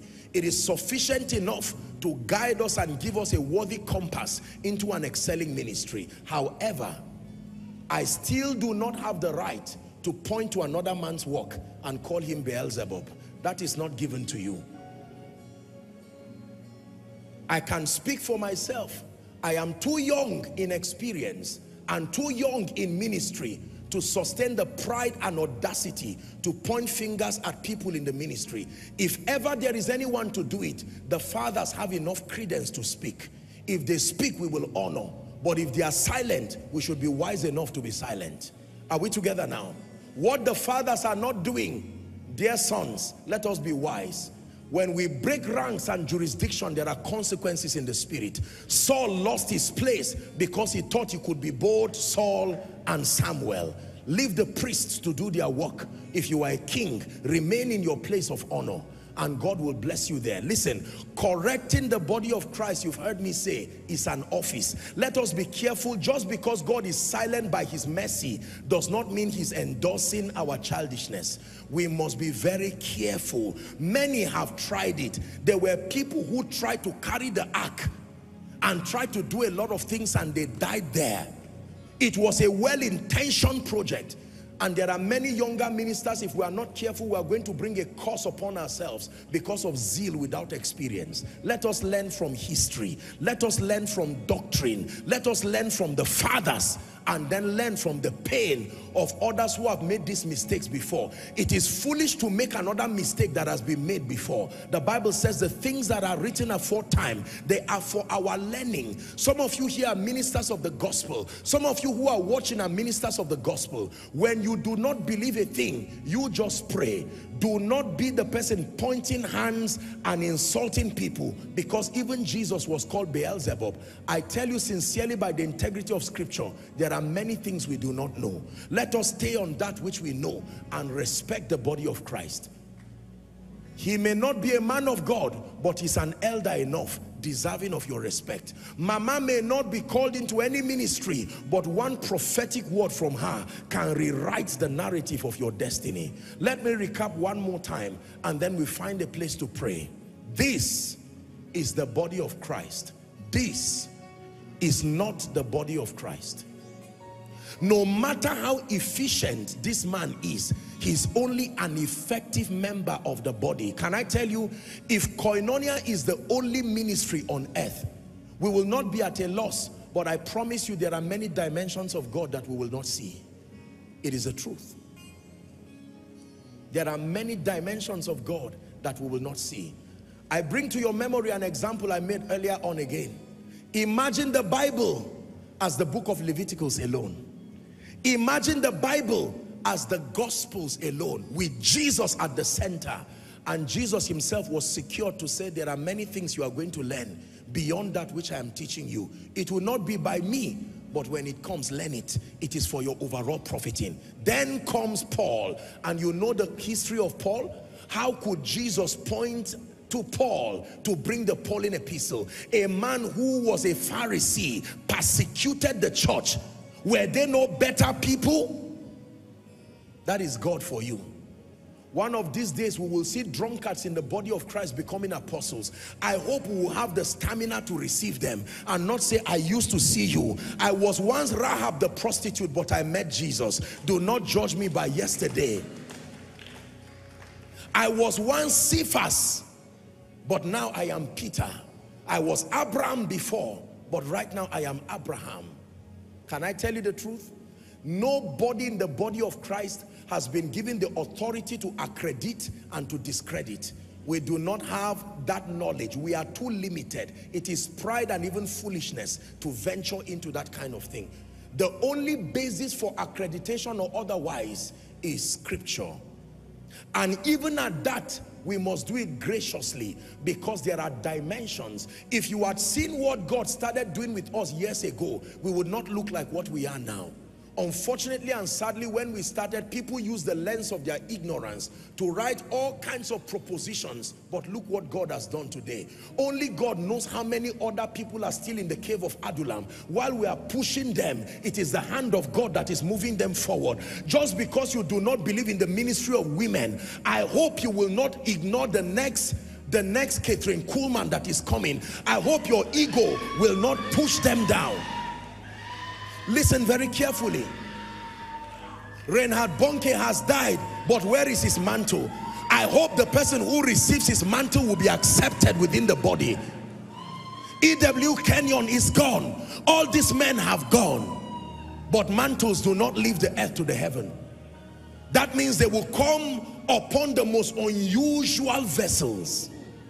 You will see politicians that will become preachers you will see men and women that will carry dimensions of fire. I hope we will appreciate them. Remember my message on redefining revivals. That in the coming revival, it's not only men of God who will be featured. No. Elijah and Daniel and Solomon and Jesus equal the complete Bible. Not Elijah alone. This is my clarion call to the body of Christ. It is time we love Jesus and love his work more than our ego. If Christ tarries one day, this man standing before you will join the cloud of witnesses. It's not a negative confession, you see. If he comes to meet us, glory be to God, we'll be caught up with joy and gallantry. But like Paul, for me to live is Christ and to die is gain. But the thing is, will it be said when you are gone that you were so what's the word? Egocentric that you did not allow the program of God go forward. I rather let koinonia close and let the program of God continue than to allow my pride to stand in the way of that which God is doing across the globe. From Nigeria to South Africa to Ghana to Kenya all across Europe, America, Australia, the Caribbeans, even the places, the Middle East, the places you never imagined that the gospel and the power of God will be there. There is an emergence of men and women who are carrying fire that God is raising. Some of them are in the fivefold ministry. Some of them are in business. Some of them are in leadership. We must embrace all of them. These are the components that make the body of Christ. I remind you again, I stand on behalf of any man of God, including myself, who may have taught you wrongly, maybe innocently so. And I apologize to you on behalf of people who may not have shown you the way more perfectly. But it's time to hide every pride and help the body of Christ for God's sake grow. The world without Kenneth Hagin would have been lopsided. But the world with Kenneth Hagin alone would have been lopsided. The world without E.W. Kenyon would be lopsided. When I say mention them, you call them God's generals with an S. When our dispensation is over and if Christ still tarries, one day when they are talking about us, they will not mention Joshua Selman alone. They will say once upon a, man, a time, a man called Joshua Selman. I pray that your name will be added to that list. Not as a source of destruction. Jesus, you be lifted higher higher, be lifted higher. Jesus, you be lifted higher.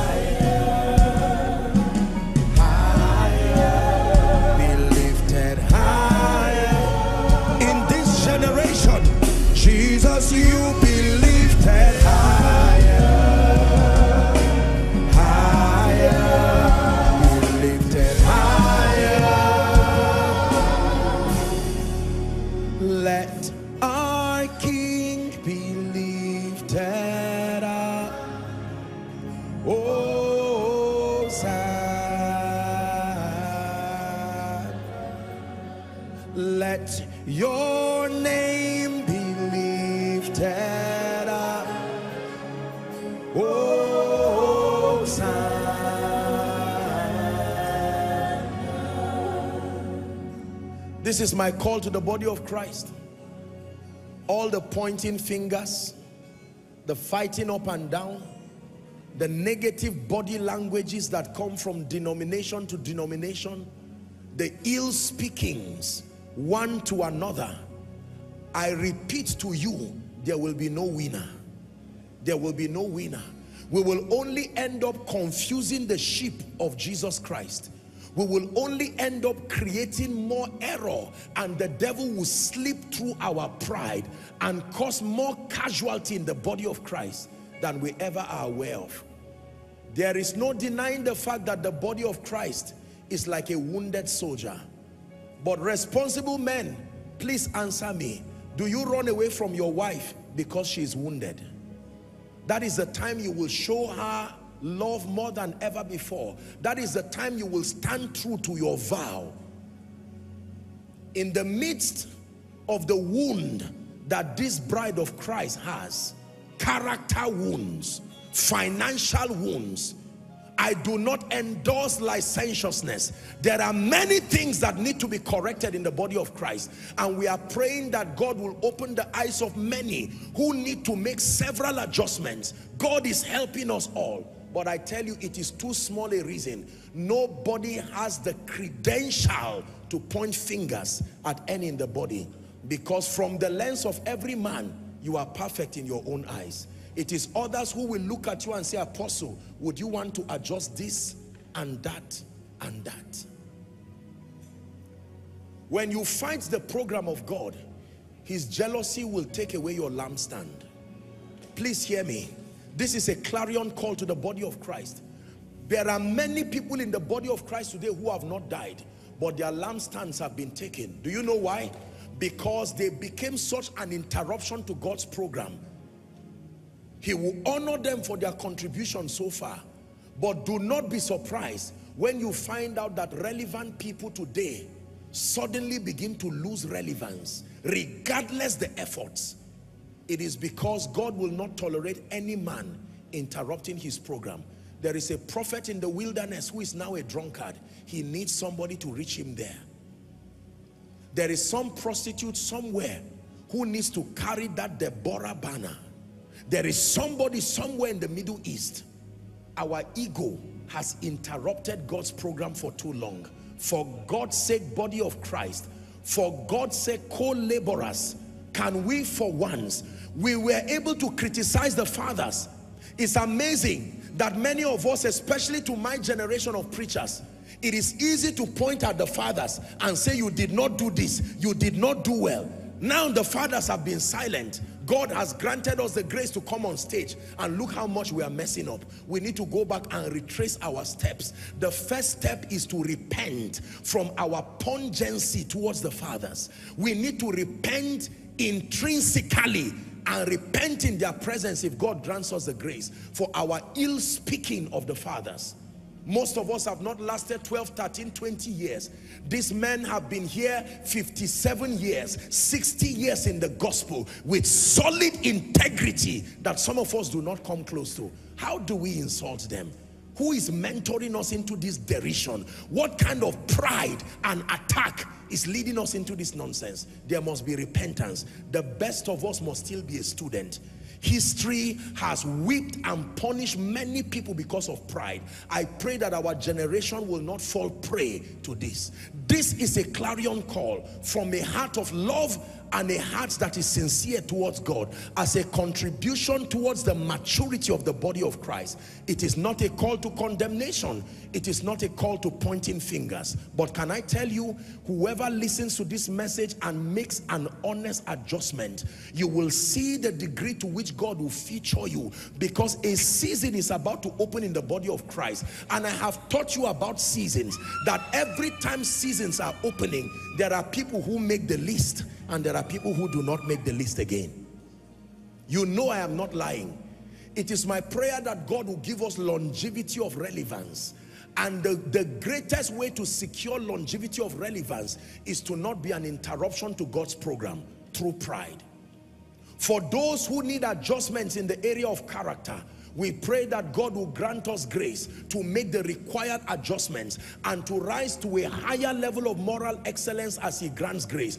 To those who need to humble ourselves and admit that there are just things we do not know, I am praying that God will give us the self-security to admit.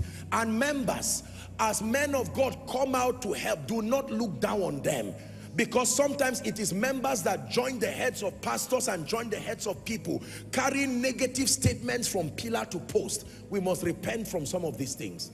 It is time to be instruments of bonding within the body. We are better together. We are better forever. Are we together?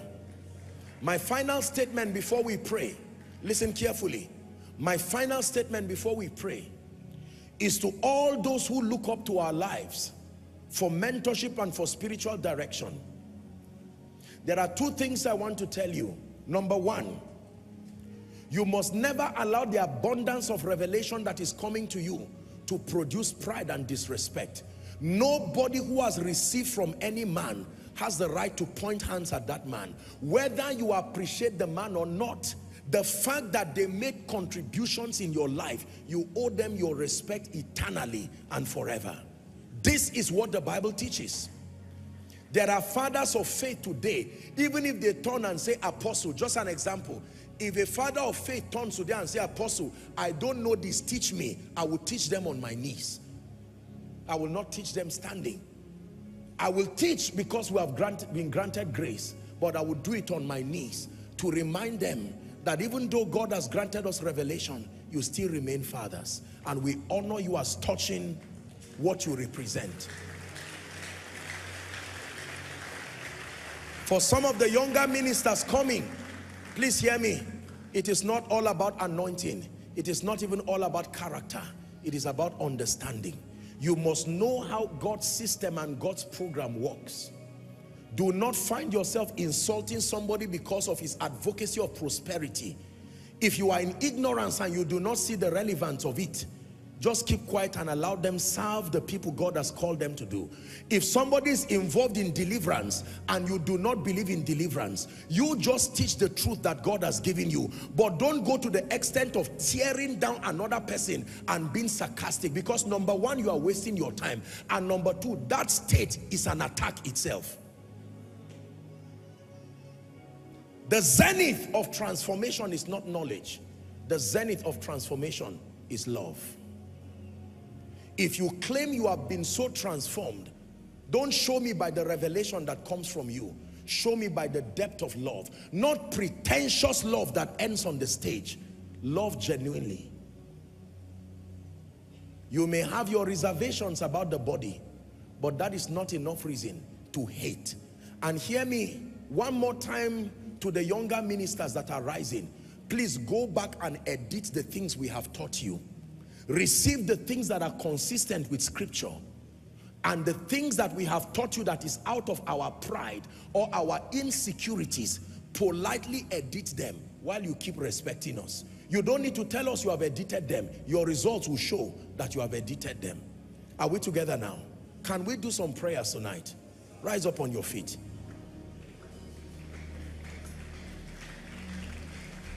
Hold hands together. I want you to still see this I'm going to use this example one last time and then we're done. The Nigerian church, this is God's goal for us. Unity is not uniformity. There are people who need to repent. They don't need transformation. What they need is repentance. As simple and honest as that. There are people who need a lot of readjustment as far as character is concerned. There are many people who need to make a lot of adjustments I have my reservations as far as the body of Christ is concerned based on the truth of scripture that I have seen based on history, experience, doctrine and mentorship.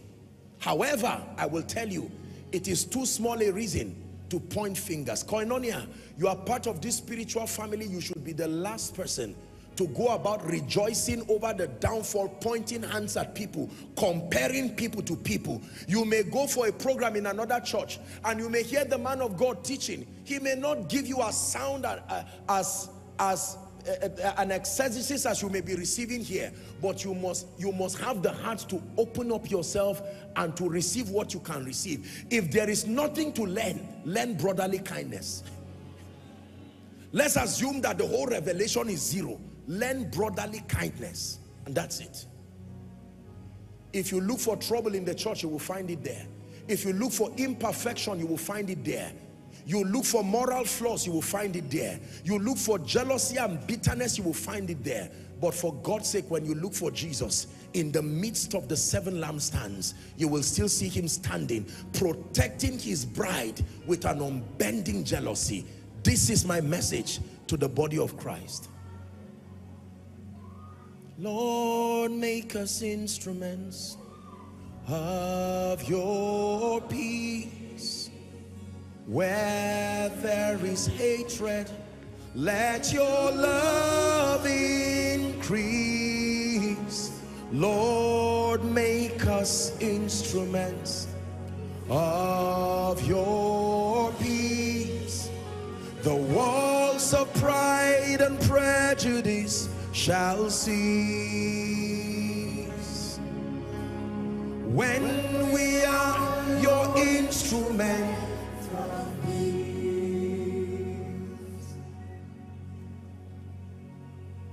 whether it is a difference based on culture or a difference based on gender or a difference based on personality or a difference based on the modus operandi of ministry or business whether it's a difference based on political affiliation or a difference based on skin color whether it is a difference based on whatever biases none of those differences is strong enough to interrupt God's program. When Jesus came to die, he died for all of us. When the Holy Ghost came, he did not choose people. He came for all of us. We are all products of God's mercy. And at every point in our lives and our faith adventure, we will need the mercy of God. I have taught you the mercy of God extensively. The first prayer you are going to pray right now, following or in this place, is for yourself. Lord, in any way I have contributed to the destruction of the body of Christ, I repent and I ask you for mercy. Open your mouth and begin to pray. In any way, I have joined the heads of men of God together, carrying stories from pillar to post, comparing churches, comparing men of God. No, that is not our assignment. Someone open up your mouth and pray.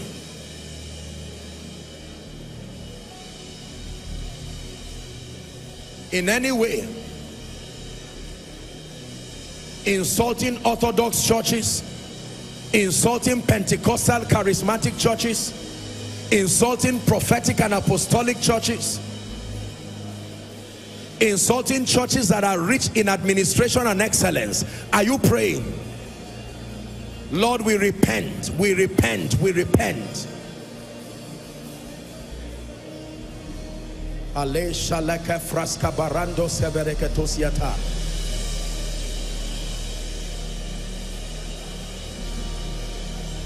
Hallelujah. Number two, I want you to pray for the body of Christ. Mention the name of any man of God you believe in and any man of God you know from your heart of hearts. Mention any church that you know and you believe in. I want you to cry and say, Lord, show mercy. Mercy and increase. Let your body remain strong. Open your mouth and pray.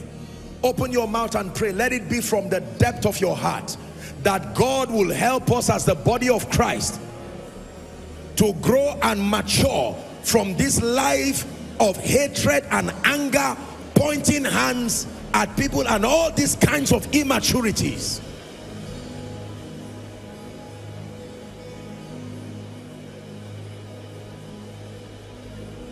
Is someone praying? Pray for that old pastor that raised you from an Orthodox church. Now you have been filled with the Holy Ghost. You are a revivalist and you are looking down on him. Pray and ask God to forgive you and pray that God will continue to help them. Pray for every denomination you know. that the dimension of God committed to them, that it will find expression and it will bless the body. Excellence, administration, moral excellence, the anointing, character, influence.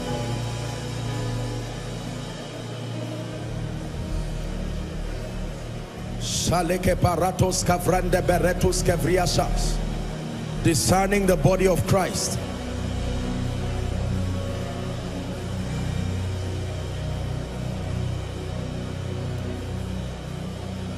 Hallelujah.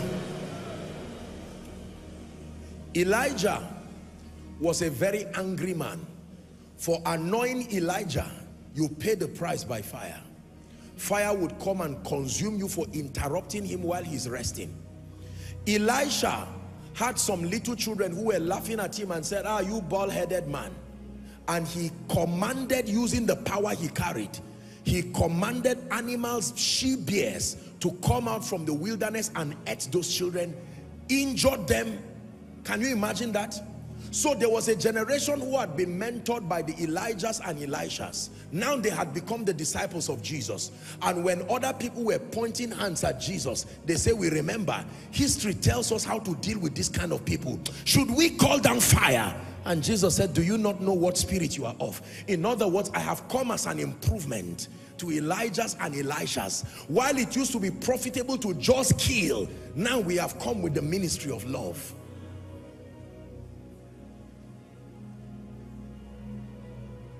Hallelujah.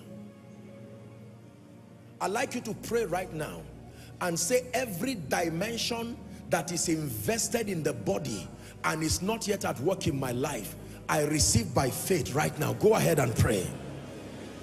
Every dimension made for my profiting, scattered across the body of Christ, that may not yet be at work in my life. Every genuine dimension scattered within the body and across the body that is that can make for my efficiency spiritually financially and otherwise. In the name of Jesus I receive. Someone is praying.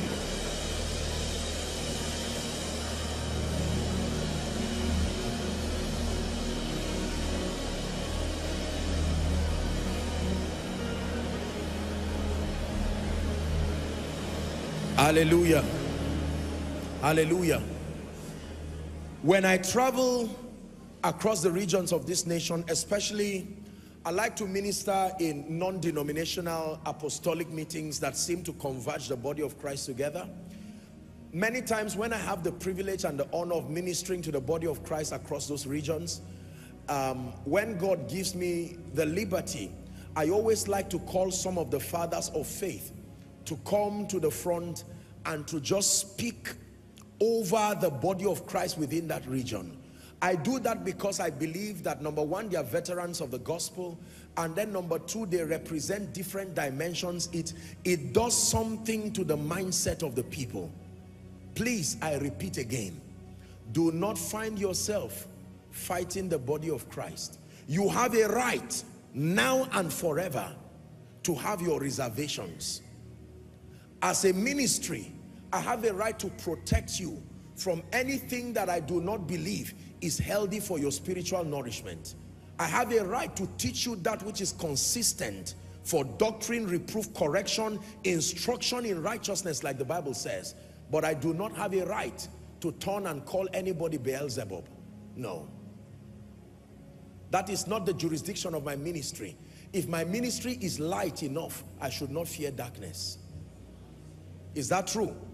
There was darkness in the days of Jesus. And yet the light of Jesus was so bright, it threatened every darkness. The presence of fake men of God and fake prophets is not enough reason to derail the body. If your light is bright enough, the illumination that comes from that light I tell you the truth, can swallow every error. In the time of Jesus, there was error. In the time of Moses, there was error. The world has never been free of antichrist manifestations until Christ comes. So having people that walk in defiance to the true gospel is not news. But the Bible tells us in John 1 5 that the light shineth in darkness when we preach the true gospel and we mentor people properly, the rate of transformation and growth will far supersede any kind of fear we have. It is not the absence of darkness that will bring light. It is the illumination of light, even in the midst of darkness. Hallelujah. Can I give you a last prayer point? Father, the role I have to play as far as the grace you have given me is concerned, I receive the grace and the courage to play that role. Open up your mouth and pray. Do not say they are anointed men and women of God. Do not say there are great business people. There is a role that you have to play. And if you do not play that role effectively, you will rob us from learning Christ through you. You will rob us from experiencing a dimension of Christ that has been invested into your life. Open up your mouth and pray. Pray from the depth of your heart. Pray from the depth of your heart. Shaleke parakatoska frende. Ekra.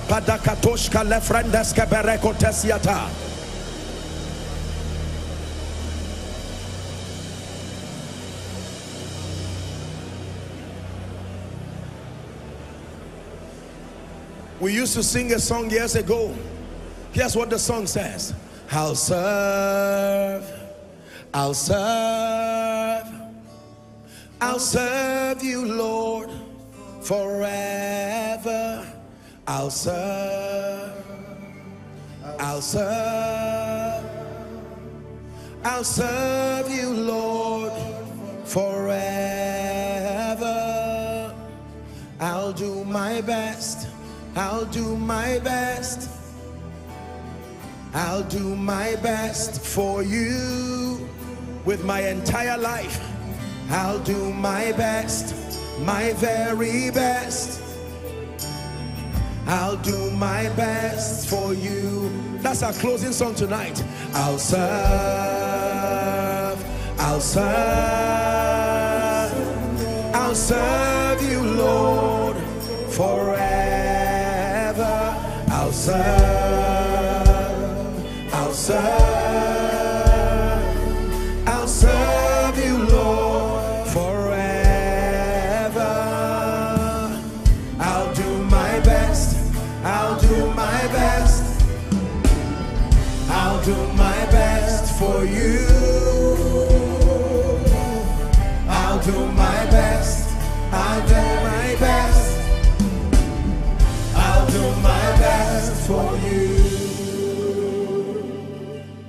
The day we stand before Jesus, the Son of the living God, He's not going to say, Joshua Selman, did you do everything? No.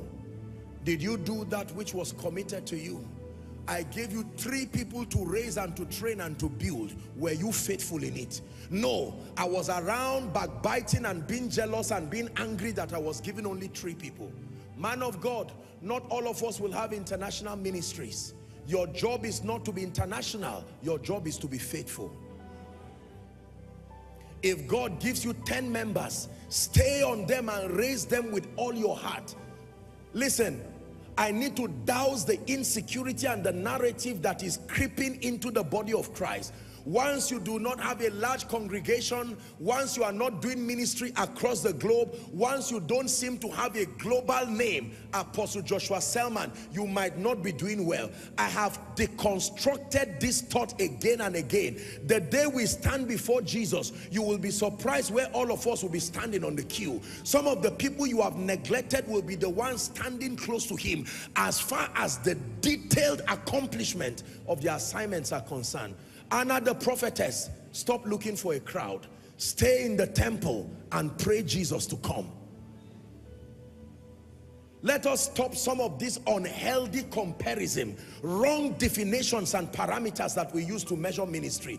There are people who are about losing their bishopric today.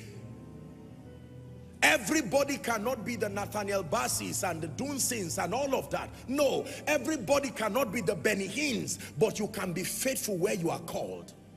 And to do your very best.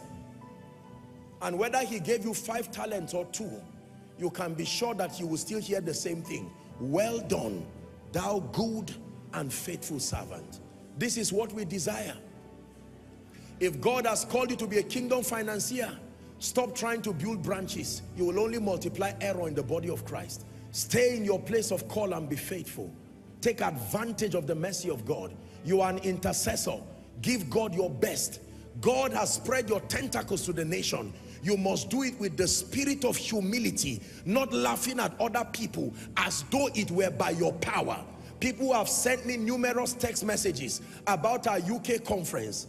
Massive, massive things God is doing. The number of people who have registered, I mean, it's we're in awe of what God has done. But I cannot look down people to say, man of God, you who has, you are doing a small conference that just has three people and you laugh at them. Make sure you never find yourself doing that.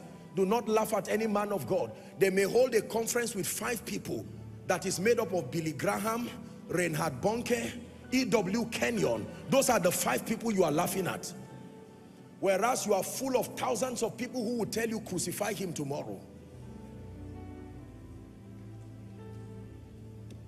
I rest my case. Jesus, you be lifted higher, higher, be lifted higher. Jesus, you be lifted higher, higher,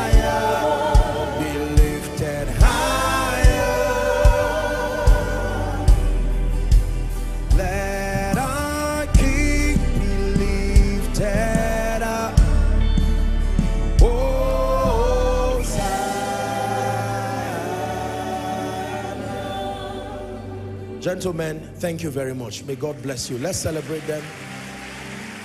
Hallelujah. Everyone stand if you can. This is a very serious moment. Please no movement around. I want to make the altar call. You came to church and you have met every one of these people, but you have not met Jesus. You are still in trouble. You came to church and you met prosperity. That is wonderful. You came to church and you met healing. That is wonderful. You came to church and you met breakthrough. That is wonderful. You came to church and you even met anointing. You came to church and you met Greek and Hebrew. Sound exegesis of doctrine. But none of those things equal Jesus. They only find their value when Jesus is exalted above them all. You are here tonight and whilst you heard me speak about the body of Christ, the Holy Ghost began to speak to your heart. That above and beyond every man of God and every doctrine and every denomination, the person, the object of our admiration and pursuit is Jesus. And you are saying, Apostle, I need to surrender my life and my heart to Jesus. Or you are here and you are saying, Apostle, I found my life veering off in many dimensions and I need restoration and dedication. It gives me joy beyond imagination when I see people come and stand here to make their ways right with Jesus. Give me an opportunity tonight to lead you to this Jesus, the one who has made our lives what it is, the one who is willing to pick you right where you are and to transform your life. I'm going to count one to five. These two categories of people. i like you to summon the courage. Do not wait for anybody to be the first. Wherever you are, with boldness and with gallantry, knowing that you are coming to your Savior, walk and come and stand right now stand in front here in front of your LED screens and for those who are connecting from across the globe I'd like you to indicate your interest for Jesus. I begin my counting now. Celebrate them as they come koinonia. One. Two. Come.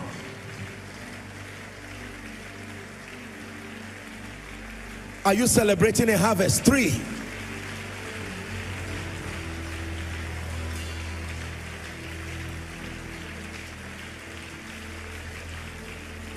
Make it right with Jesus. This is what it's about. You came for koinonia, but let koinonia be the usher that leads you to Jesus. The one deserving of your allegiance. The one deserving of your worship.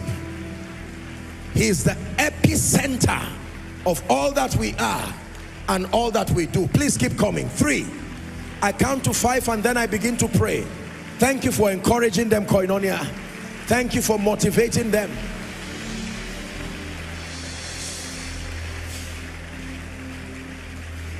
Hallelujah.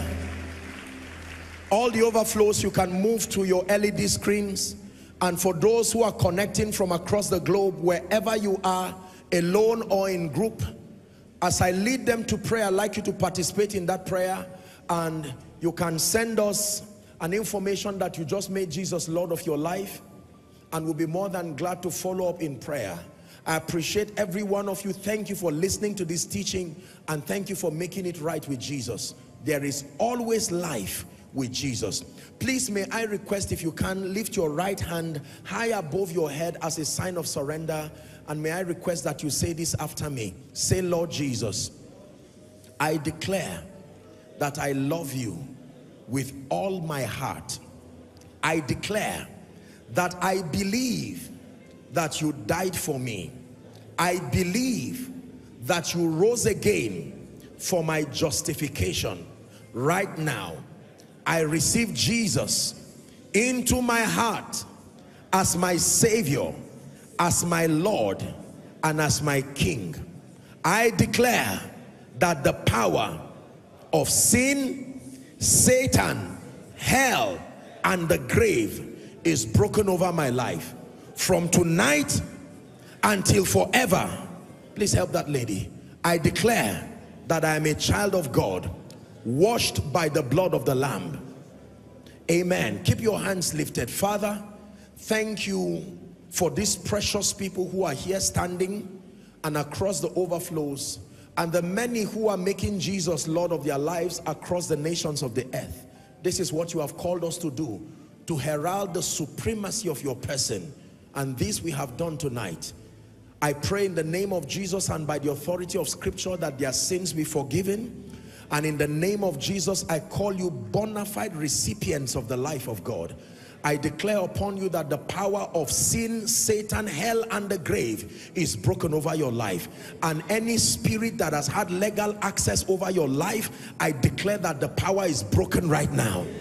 In the name of Jesus. From tonight until forever, I declare upon you that you walk in newness of life and you walk in righteousness. In the name of Jesus Christ, you go forward ever and backward never. For in the name of Jesus Christ we pray. Amen and amen. Congratulations, you are saved, you are born again.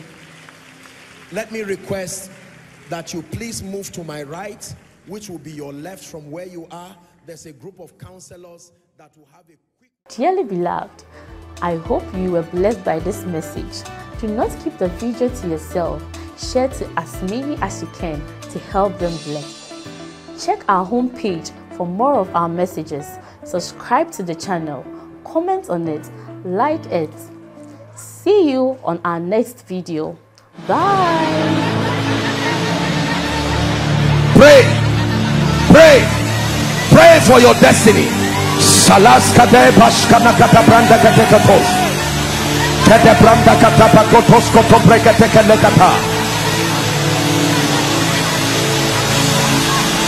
The phase of development. Lord, grant me the discipline